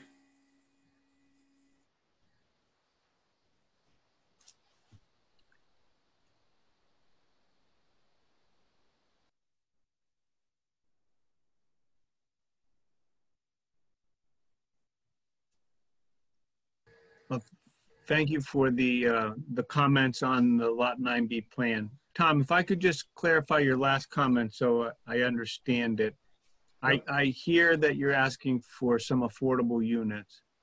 Um, uh, And I do get that. making it More palatable. Yeah. So I was trying to figure out, I know you don't want to give up units that you have now. You got 29 or whatever, 28, whatever you've proposed, and I get that. So I was trying to figure out while I was looking at the plan, okay, let's not take any away, but can we add some? And the only way you can add some is to make the density denser. And the only way you can do that is, is to create more space. And if you don't have the space to create, where do we go from there? And the only thing I could think of is, is that small, if you're gonna shut that road off anyways, it's a small little spur that's not gonna be much of, it's not gonna do anything other than splitting that, that, you know, um, um, roadway or that parcel. If that could, if you could take that space, slide that unit over, there's actually even a small, and I don't know, it gets into your parking lot of the, of the growing room, so maybe you don't want to gain that over there. But you could certainly slide that over and make that a six building, uh, six unit building. There is some room up in that corner where the, there's like a small little triangle. Maybe there's a possibility of getting another unit in there. Um, so now we've created a couple of more units. Maybe that makes it more palatable to throw a couple of affordable units in there just to make it so it doesn't look like, you know, we're, we're not being sensitive to all the zoning that we've done, all the hard work that we've done and everything else. So just a thought. You may have fire department and police department say, no, no, no, we don't want that. We need another access into this complex and, you know, that may be a moot point, but it's something to explore at least. Um, I, I get it now. I think what you're saying is the little piece of Bassett Road that would remain, that would dead end at this, pro- well, it would dead end, it would come to a T intersection with Newsom Road. Correct. You're saying because Newsom Road cuts all the way through, maybe you don't even need that little section. Exactly. I see. you go out, you have to make a, a right-hand turn anyways. Right, right. It's not a very useful exit, actually. And if it's that short and it's not useful, then why even have it? Just a thought. No, no, it's a good thought. And, and also, when it comes to affordable housing, I don't know if you recall this, but I sat for many years on Westboro's Housing Partnership. I'm very devoted to affordable housing. It pains me to even recommend a new phase of Riverbridge without including some affordable units. I'm just listening to my contract purchaser and the economics and looking at what we did accomplish, and I therefore have have made that proposal. But I hear you and I'm, I'm simpatico with you. I, I get it. Some affordable for sale. I've never tried to market them, so I don't know how difficult that is, but I do understand. There's got to be a way. I, just, you know, and, and if it gets, if it's more units that make that happen, okay, so be it. All right, well, that's a very good Figure it out. suggestion.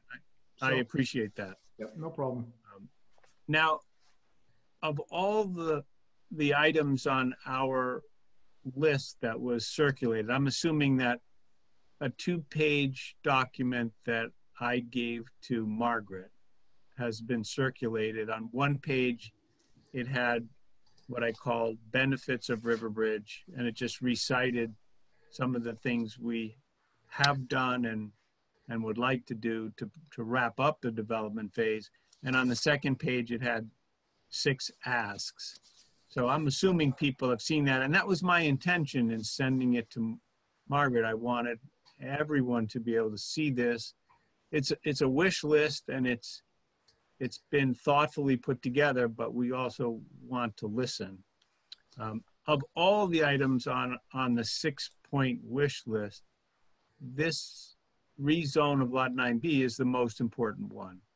And I realize how little time we have if we're going to get, if we, if we can accomplish this, we want John to be in the ground at the start of the building season, which means we really only have one shot, which is the December 5th town meeting, unless that date slides. But Margaret seemed to think that was going to hold, which would mean that if we're going to move in this direction, we would need to figure out when to hold a planning board public hearing. Because as you know, you can't bring a warrant article to town meeting floor that calls for a change in the zoning bylaws unless the planning board has, has held a, a meeting, a public hearing and made some kind of recommendation to the town meeting.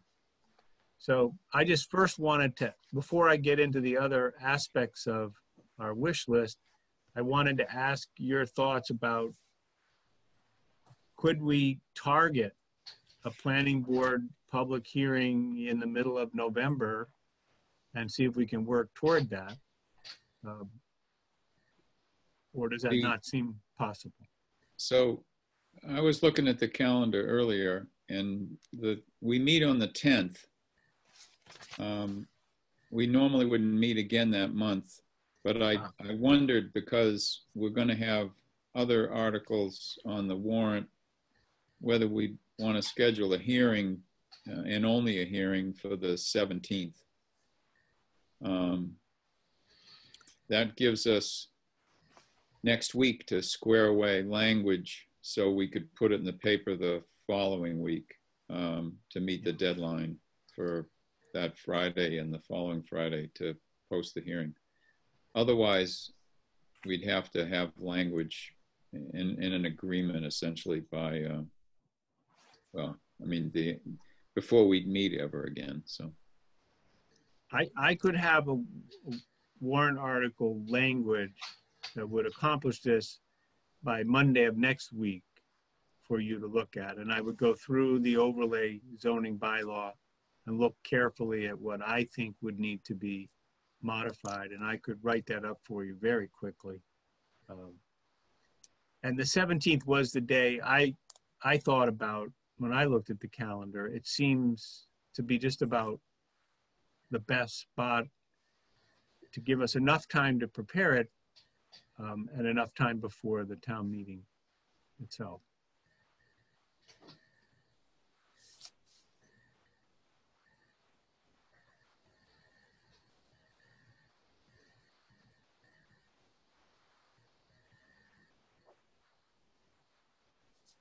So language be given and circulated around by next Monday, and then we would discuss it on the 27th and hold the hearing on the 17th. Is that what you're saying? That, that's a good program, yes. So for Tim, your, your suggestion is, is that we hold two meetings in November?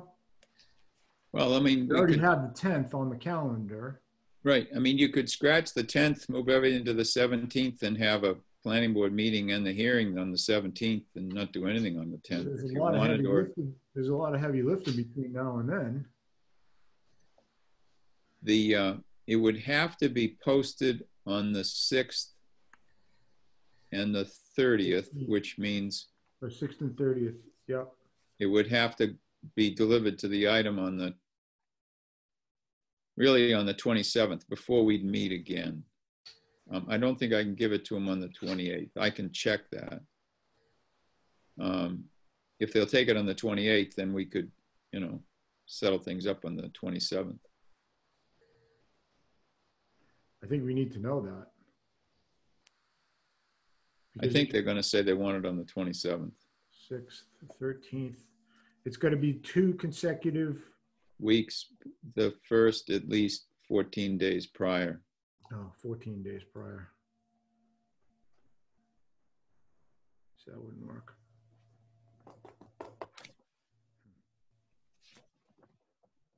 I I don't think it makes sense to jump to the 24th for the hearing. I think that's too close to Thanksgiving, but. Yep.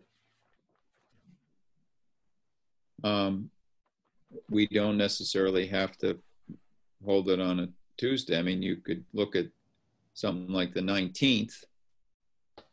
Um, what does that gain us? It's, since the item's only coming out on a Friday, I mean, it doesn't, gain you doesn't in help 'cause you us. Still need, yeah, it would be the twentieth. Yeah, you'd have to jump, yeah.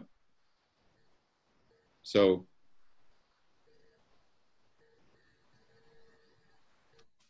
If it helps, I could get the language to you by Friday of this week. well, our, our difficulty is we're, we don't have a scheduled meeting until, uh, till the 27th. Twenty-seventh, yeah. Yeah.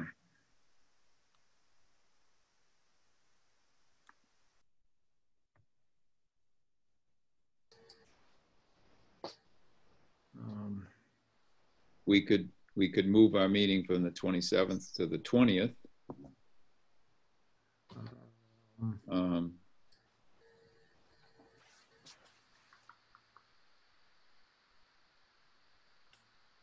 That's a possibility. Um, I I don't know got what something, people, but I can move it around. yeah, we, I mean, we th- still This is Leanne, Tom. I hate to interrupt, but I'm, I'm just not sure that there would be a Zoom channel available that night. I know Okay. Board of Health meets. I'm not sure if there's any other board that already has a meeting booked. Yep.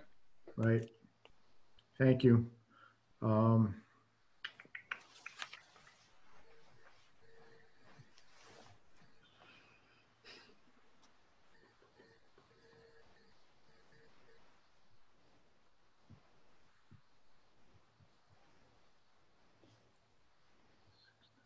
so, I mean, we can, we can certainly take language for a proposed article. I mean, it, if, if it's a citizen's petition, uh, then it goes in as, as written. And, uh, and we set our hearing date for the 17th. And, uh, we move forward with the, you know, the articles that we've discussed for having on the warrant, and we've got the language for those already, so those are, that's no problem. And um, we take Chris's proposed language and, and submit it. Um, and then we meet on the 27th and, and uh, get a chance to review it. And there's, you know, if there's major issues, then it can be amended on the floor, certainly. I don't think, I mean, Chris's habit is to write stuff that's pretty tight and succinct and, and he's going to try to develop language that addresses the issues that he wants addressed. So, um,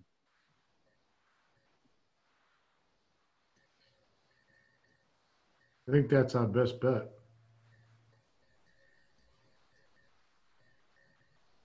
Then we just follow along on that schedule. So we have a hearing on the 17th.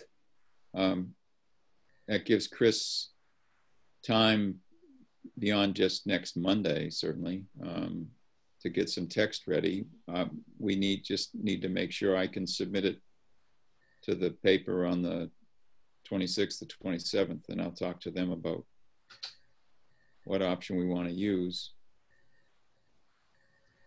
I mean, I for one would, even if it's a draft, the faster we can get it, the faster we can start digesting it and understanding it. I know it'll be sustained, succinct as best as it can be, because that's the only way it's gonna get, it can't be very complicated of people who are just gonna roll over and say, forget it. Um, But even so, I think I would like to see it as soon as possible, you know, Monday for sure. Now, Draft. Let me, let me throw out another option. Um, which, we're cheap. I'm cheap. Um, if we don't use the item, but we use the telegram, and we don't have to meet the 30th, but we need to meet the second deadline in the newspaper, then uh,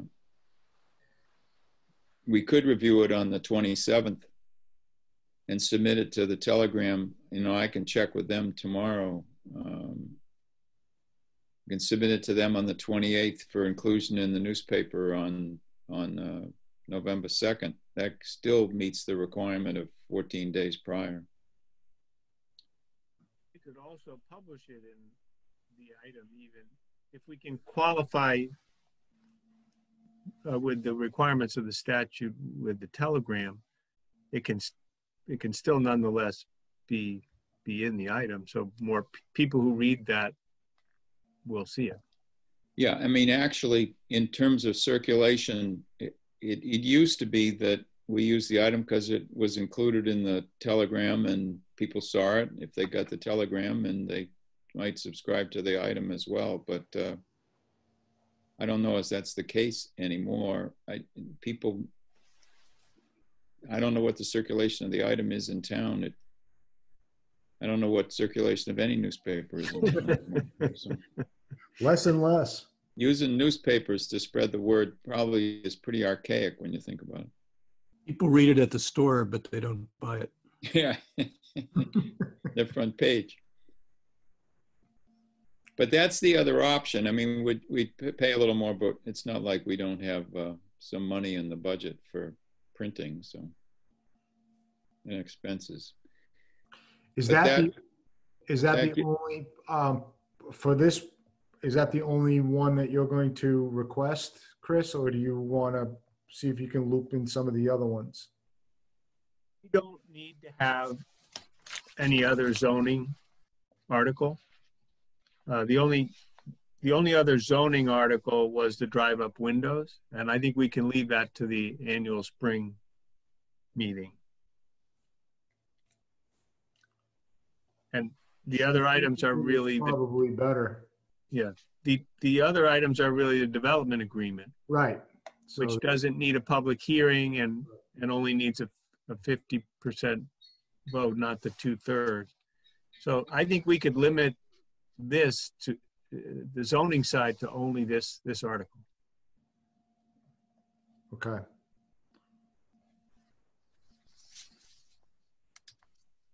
So I'll call the telegram tomorrow and uh, clarify. Can you, when you get your information, can you circulate that by email to the rest of us? I don't know if I'll have time. Okay. Uh, Tim, do you, Immediately, immediately I will, yes. uh, this, this will be a citizen's petition, which means Matt and I will be collecting, is it 200 signatures? For a special. Eloise, are you there?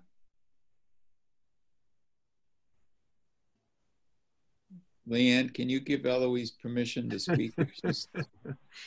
Yes, I will unmute her. Hold on. I think she's still there. She is. Hang on. She probably wants to talk to us. Go ahead, Eloise. You should be able, oh, unmute yourself. Yeah, there she goes. Greetings. Hello, Eloise. Long time no talk. Yep, yep, yep. Uh, the Selectmen opened up the warrant tonight, so that means you need 100. 100 is to force the selectmen to call a town meeting, but since it's town meeting has been called. You now only need 100 to get something on the warrant. Eloise, do you know how long the warrant will remain open?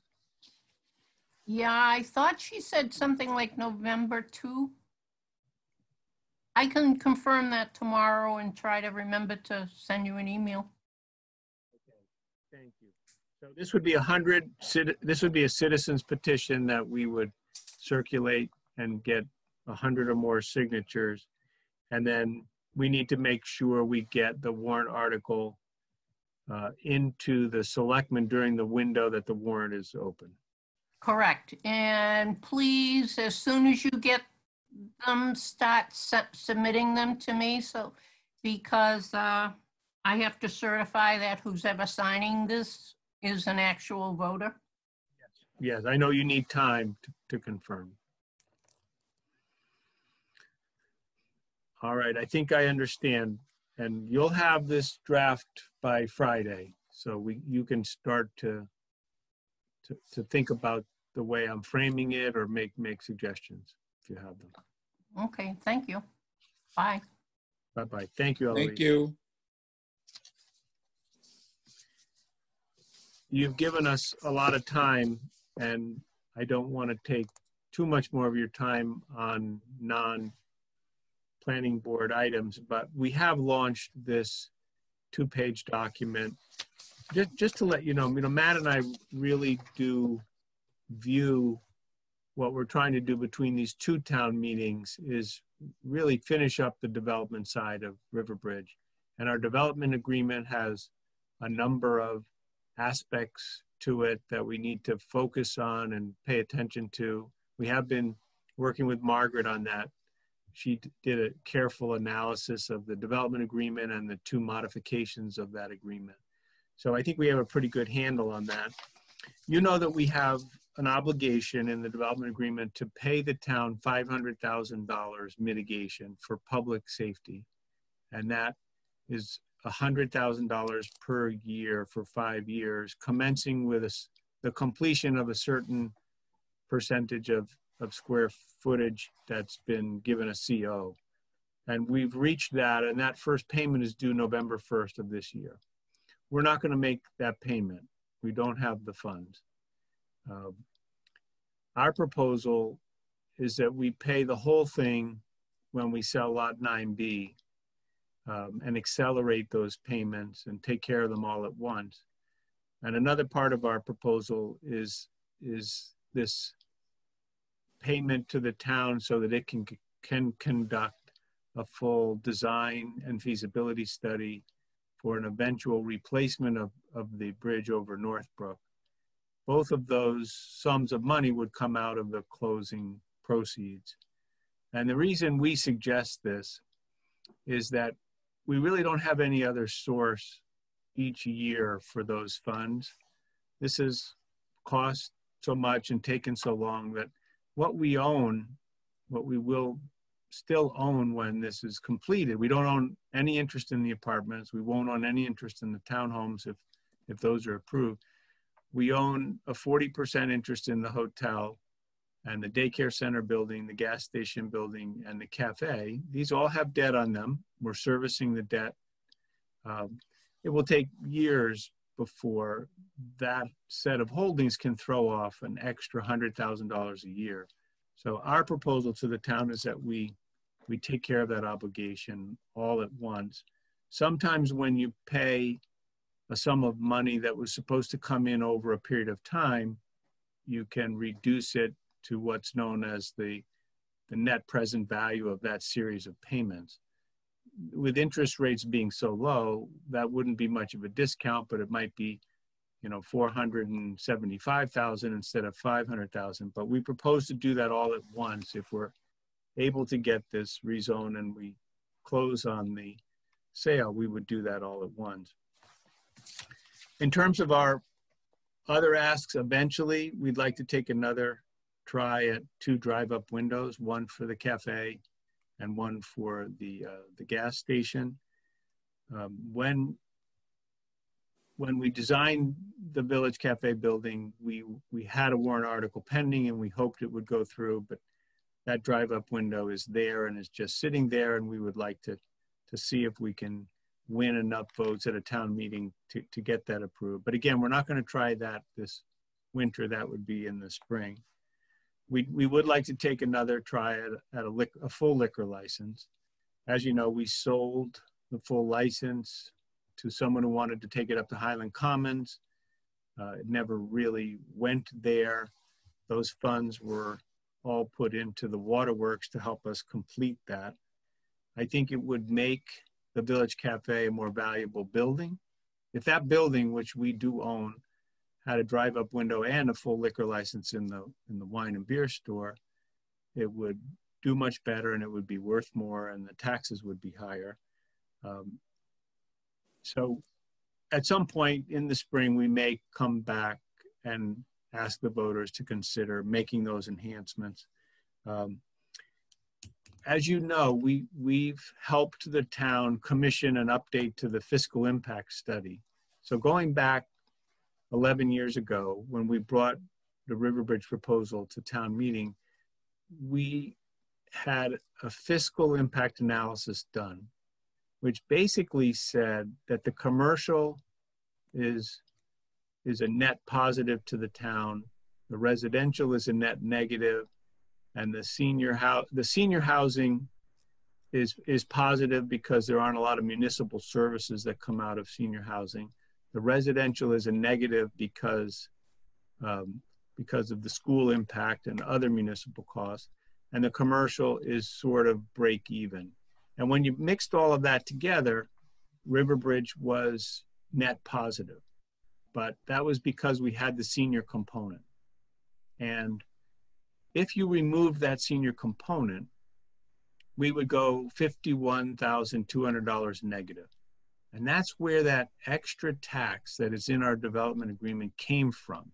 It came from an understanding that if we didn't build a senior component at Riverbridge, we would be net negative to the town in terms of considering all municipal costs of our project and all tax revenues and other revenues.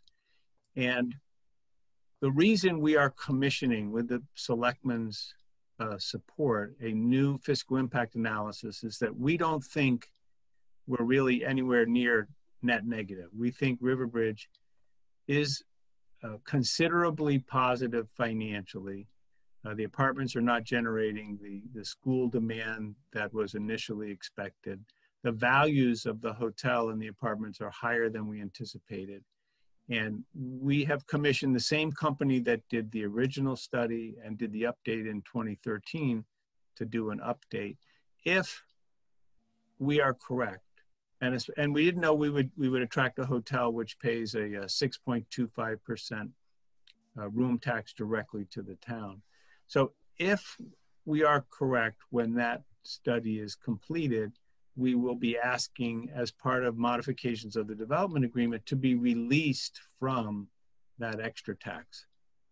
Uh, looking at where it had originated and looking at the fact that if this report reveals that we are considerably positive, we would ask to be released from that obligation. Uh, with road improvements, you know that the development agreement required us to um, widen the deck on Northbrook, which is not replacing the bridge, but it's just taking off the two outer beams, putting a larger beam on and widening it by, I think, two feet on either side. Building a pedestrian bridge separate from that bridge so that walking across Northbrook uh, would be less dangerous. And we were to make, we were to put the the new roundabout in, which we've done, and widen River Road West, which we've done, and make some improvements to the main rotary, which we've done. There were also some relatively minor improvements at two other intersections in town. Our proposal, as part of this exit strategy, is to provide this $150,000 to fund the eventual replacement of Northbrook by a more modern bridge that would include a pedestrian uh, section. Um, and, and have that considered satisfaction of um, all of those road improvements. So that's part of the ask. And the final thing is that because we don't have a senior component, we would ask to be relieved of the obligation of providing uh, an ambulance service uh, that would be under contract with Riverbridge. Um, so those are those are the asks. As I said, by far the most important one to us is the is considering the rezone of Lot 9B to allow these townhomes. Um, also, we, in terms of the, the first page of our document, which talks about benefits, we have built a canoe launch down at the Assabet River with the approval of the Conservation Commission. In the meantime, the town purchased what we call the Reese Meadow, the 12.5 acre meadow that's across from Spooky World. And we're offering to deed an easement to the town so that if the town ever builds a road or some parking down near the near the river on that meadow, you would have access to uh, to the Assabet River. Um, so those those are the you know the the benefits that I've already talked about the the fact that we did keep our number one promise to the town, which was to to get the town credit for the affordable housing units, the 84 units. Um, you know, we think on balance, what we're asking is reasonable, and it it's what we think would help us bring the development part of this project to a close. Again, we're not going anywhere. We want to be part of the community for a long time, but we wanted you to be aware of, of this set of asks. Most of it will probably get deferred to the uh, spring town meeting. Um, in fact, it's possible the only warrant article we'll have for winter in December would be would be the rezone for Lot 9B. But we're sharing this, you know, it's a little bit nerve wracking to write down on two pieces of paper exactly what we imagine would be a good resolution to all of all of the different obligations and and benefits but we did that because we want to encourage people to ask us questions and talk with us about this overall exiting from, from that developer role.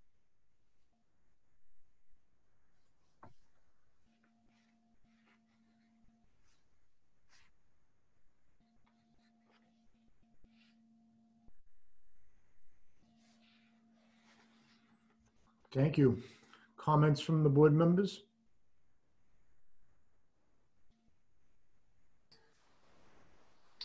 I said pretty much all I wanted to say.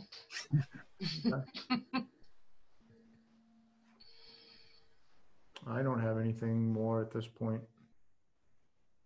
So I guess we'll look forward to the language of your uh, proposal. By- um, End of this week, first part of next week, so we can start chewing on that. And uh, so do you want to be put on the agenda for our next meeting? Yes, Okay. Yes, What please. time Works well for you? 745 or, or 8. Why don't we make it seven forty-five? Because I think this will be, you know, pretty lengthy discussion, so it'll give us a chance to check in, go through any of the little housekeeping stuff we have, and then we can dedicate most of the meeting to you. That would be great. Okay, So by, I'm going to try to do this by, by Friday to, to get you the draft uh, warrant language. And then we'll work on the plan. We'll continue to analyze it. I will get to work tomorrow with Waterman Design on creating some perspective views that can take you from the roundabout into, into the east side to see what it looks out, looks like from, from street level and maybe the rotary and maybe a third vantage point so that you'll see how how will this impact as you know we know that riverbridge is the gateway to, to the town and it's important how it looks and and how it feels Right. so so we'll work on that um, and and we've done a good job, we've done a good job of what we got, you know, right now. I mean, The scale and everything else doesn't bother me. I've ridden by there a bunch of times and looked from different perspectives and I, I don't, it's not like it's massive and sticking up, which was what my big fear was when, when we first permitted it. Yeah. Um, But now with this last little bit, I just want to make sure that we don't screw it all up. I do too. I do too. Matt, and Matt does too. We, we want, We Yeah, won't look- screw it up. you know, we, we want the town of Berlin to feel that the Senies were a good thing that happened to the town. You know, we certainly have worked it every day since December 2nd, 2009. And, you know, we're not professional developers and other people might have done this much better or much quicker, but we've really worked it very hard and we've tried to make it a success. And it's going, it's going to have been a success. It's just been long, long in, in getting here, but I think it's going to have been a success. And we want you to, we want members of the community to feel that way too. Sure. Okay, so 745 on 1027. Okay. Thank you very much for all your comments. Thank you all. Good night.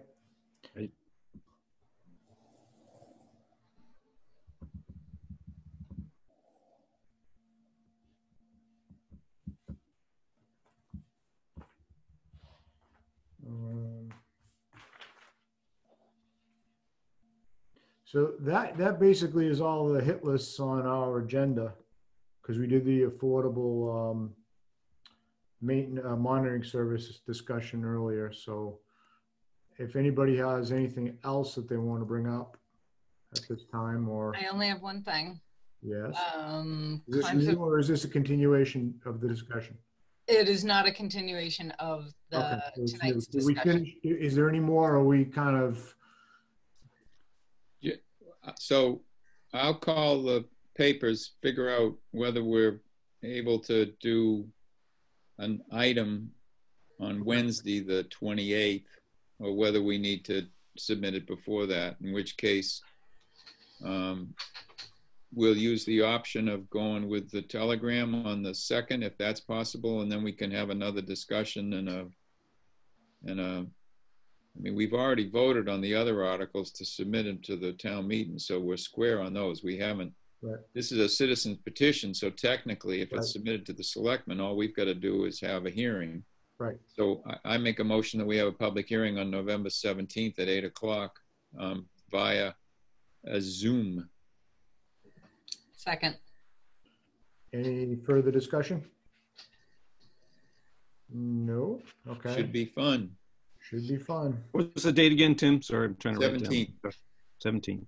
17th of November. What do you want to call it, for 8 o'clock? Yeah.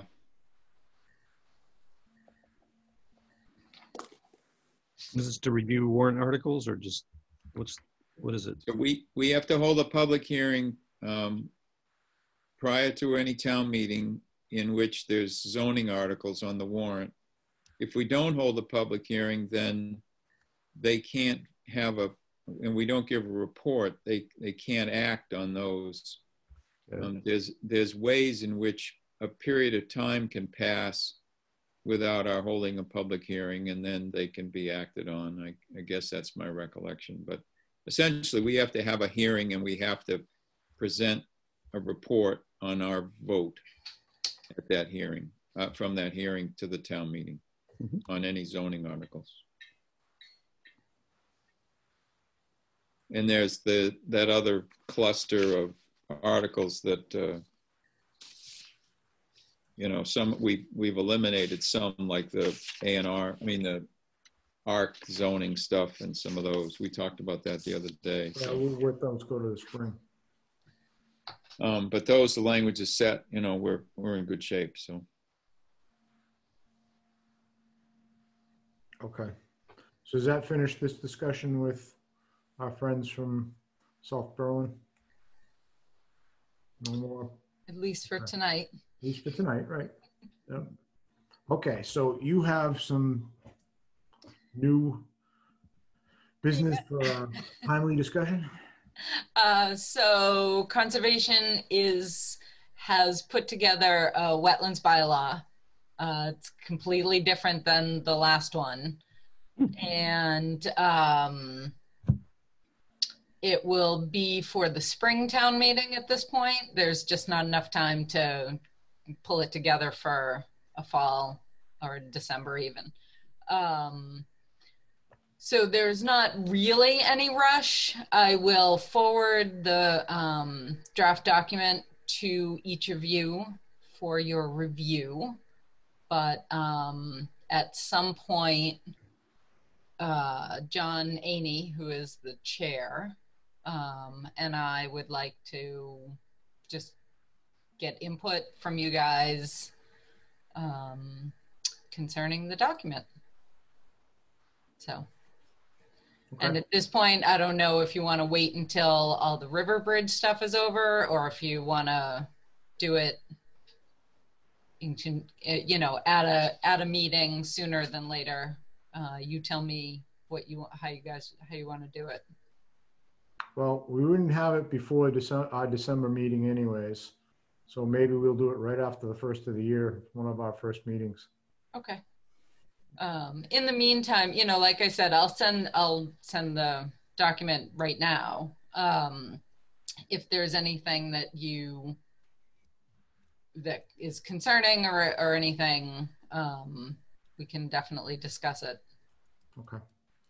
Uh, not as a board, but as just citizens, if that's easier or whatever. But I just wanted to let you know that that's what's going on. Okay, cool. All right.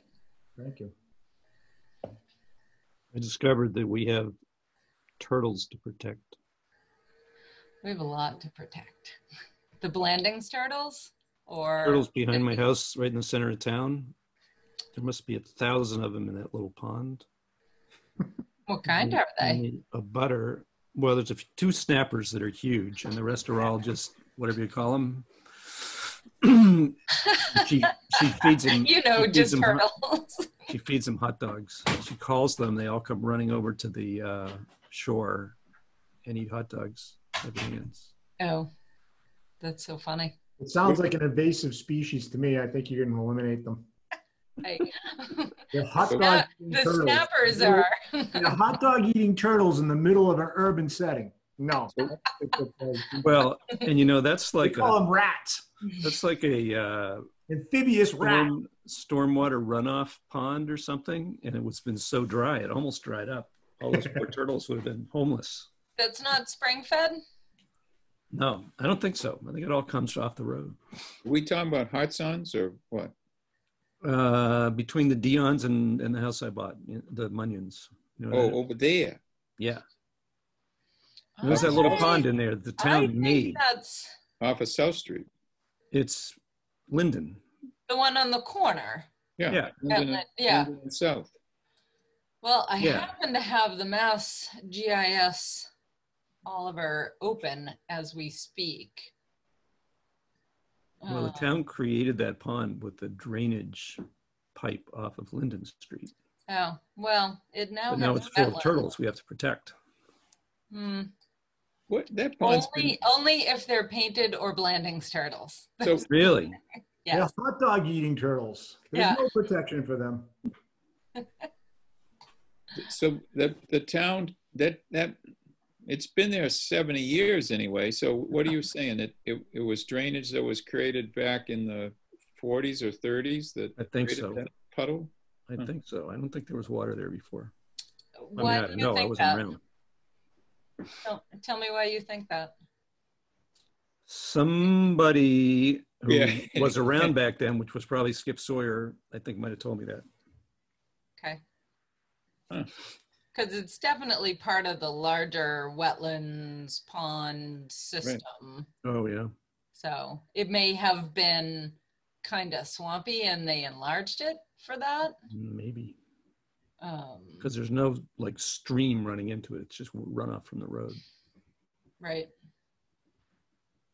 But there's all kinds of underground underground water happening all around um, the center of town. Is that right? Huh? Pretty wet, yeah.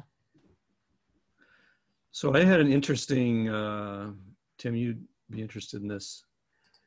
I was talking to a guy who is working on the rail trail in another town nearby. And in contrast to the $5 million per mile that, did you guys read the, uh, report of the rail trail committee that was that Margaret sent us a few last week, two weeks ago?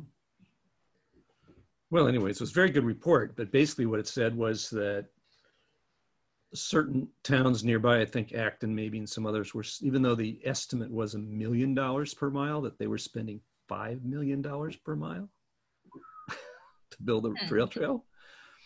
In a certain town nearby who has actively been building out the rail trail there, several miles of it so far. The last mile they did cost one hundred and eighty thousand, so it was a hundred and it was split mostly state and a little bit of town. Town put up like fifty k. That's a big difference, 180k to 5 million. Yeah, huge. Because I was thinking about your suggestion the other day, Tim, which is tremendous. I think we could, if Hudson decided to do their part of the, even if they didn't, we, if we could run the trail through the basically, you know, you run through woods with only one abutter to get to the town center. And then you go down Linden Street and you get on the aqueduct. What a great solution to the rail trail problem, but not at $5 million a mile. Right. I mean, you're required to pay prevailing wage, which is more than double what people, private contractors pay their workers. Does that make If- sense? If, if you take the state's share, is that the clicker? If, if, if we take the state's share, then we have to pay prevailing wage. I believe so. I, I mean, I, I, that makes sense, but I, I have no idea. But, but are are there alternatives to um, that funding source where we reduce I the- would, I would, I would double check that, because I think if you're a Right. municipality, you don't have a choice. I you have think to if the of the project's over a certain They get dollar amount. Mm-mm. didn't we, didn't we run into that with the eighteen seventy town hall? Yeah. With the elevator, And it was about, it was about the a dollar amount of the job.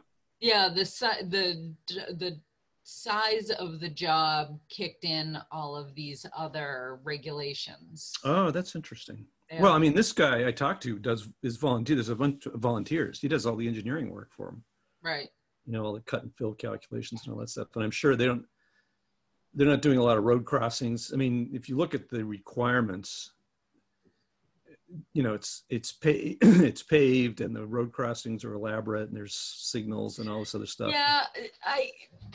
So why?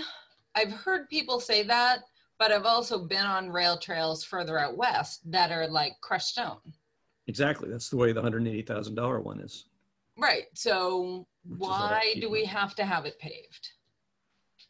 See, maybe what I'm thinking is maybe there's an option. You can either do it the state way and spend $5 million a mile, or you can do it in another way that's much more affordable. And maybe it's just not the same quality. And there's probably more maintenance, right? If it's crushed stone, there's more maintenance. Yeah, probably. But Uh, still, for that amount of money, you know, Yeah. add And, more stone know, and grading it once in a while. We're more rural anyway. I would prefer right. it to be less invasive and less We don't want pavement. Plus, horses don't want to walk on pavement. right. Um, I don't know why I can't find this document. I don't know how we would get that restarted, but at some point, it might be worth doing it. I believe the state is going forward with the rail trail. From what I've heard, Well, if if the town needs to contribute a significant amount of five million dollars per mile, I don't think it's going to go through Berlin. Mm, Can you imagine? yeah, I don't. Um, so one it take of- us to get a hundred thousand for uh, the playground? Right.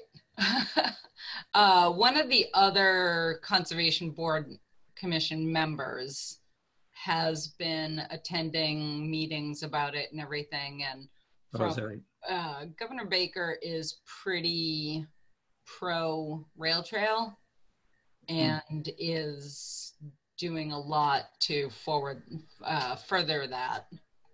Yeah. So, oh, oh, here I found it. Excellent.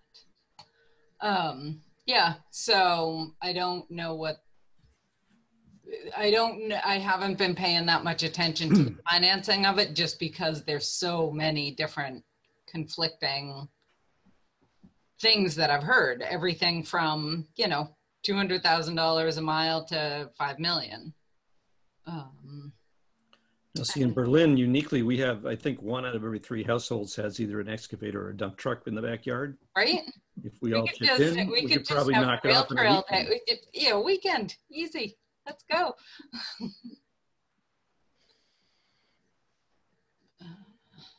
Building trails, we're good at that. Right. Till we run into a turtle. Hot Hey, dog hey, hey. Give me Well, a if you go down mar- the, give me a the list, marbled salamander and, and you go down the list of approvals different. that you, that you need, and each approval, you have to hire a consultant to re- do a study and write a report. I mean, no wonder it's $5 million. What do you- Oh yeah. I think but again, see I think there's all all of that stuff is mapped. Potential um endangered species habitat and everything. If your project is going through any of that, that's one thing. But if it's not, Huh. I um, can't imagine the railroad protected species way back when, when they laid all the beds. Correct. Um, like, so I know the area up on Peach Hill Road, um, up by Mark's little street up there that he's putting in. That area is definitely designated potential habitat for endangered species. Really? Um, yep. So and- he have to and open up a zoo or what, how did he get, how did he? No, I, he, um, I, I just, ha- it's, ha- there was a filing with the state with uh, natural heritage and endangered species. It's NHES, I think, Hmm. um, of exactly where the project was going to be, and just had to get something back from them saying um, that, yeah, no, he's good if they're um, actually down um, at the Reese Meadow that we were just talking about, there was also that also needed to be signed off because that's also area uh, potential um, endangered species habitat over there too. Um, but again, it's all mapped and relatively easy to find out if at least there's the potential.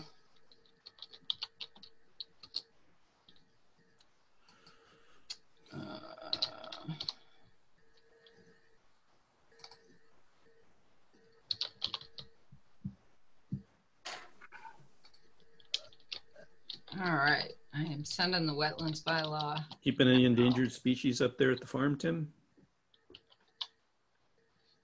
No, they, they, no, there aren't, no. Just farmers. Yeah, right?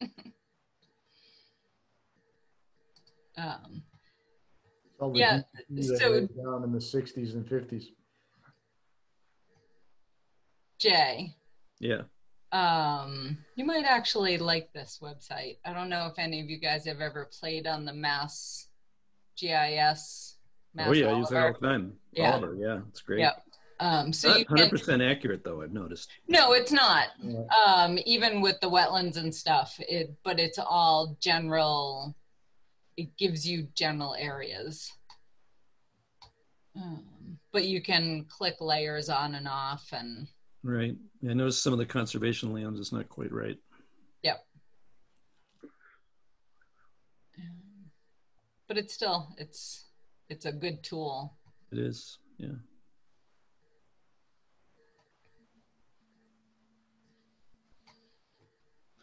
That and Google Maps. It's amazing how rapidly Google Maps has been updating now. It's like every year or something. oh really Yeah. Okay. Maybe less than a year.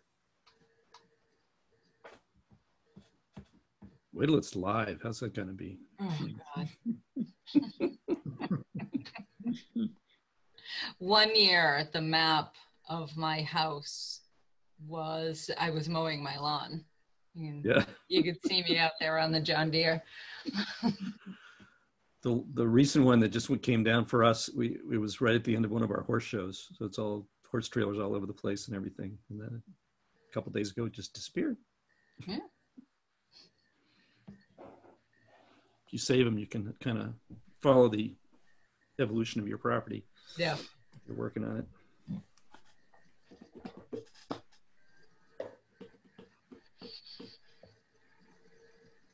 You want a motion to adjourn? I'll entertain it. I make a motion to adjourn. Seconded Any further discussions? exactly at 10 o'clock. Hearing none. Roll call vote, unfortunately.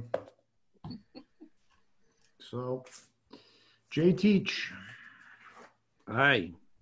Timothy Wheeler, Aye. Carolyn McDonald, Aye. Tom Sanford, aye. Okay, we voted to adjourn.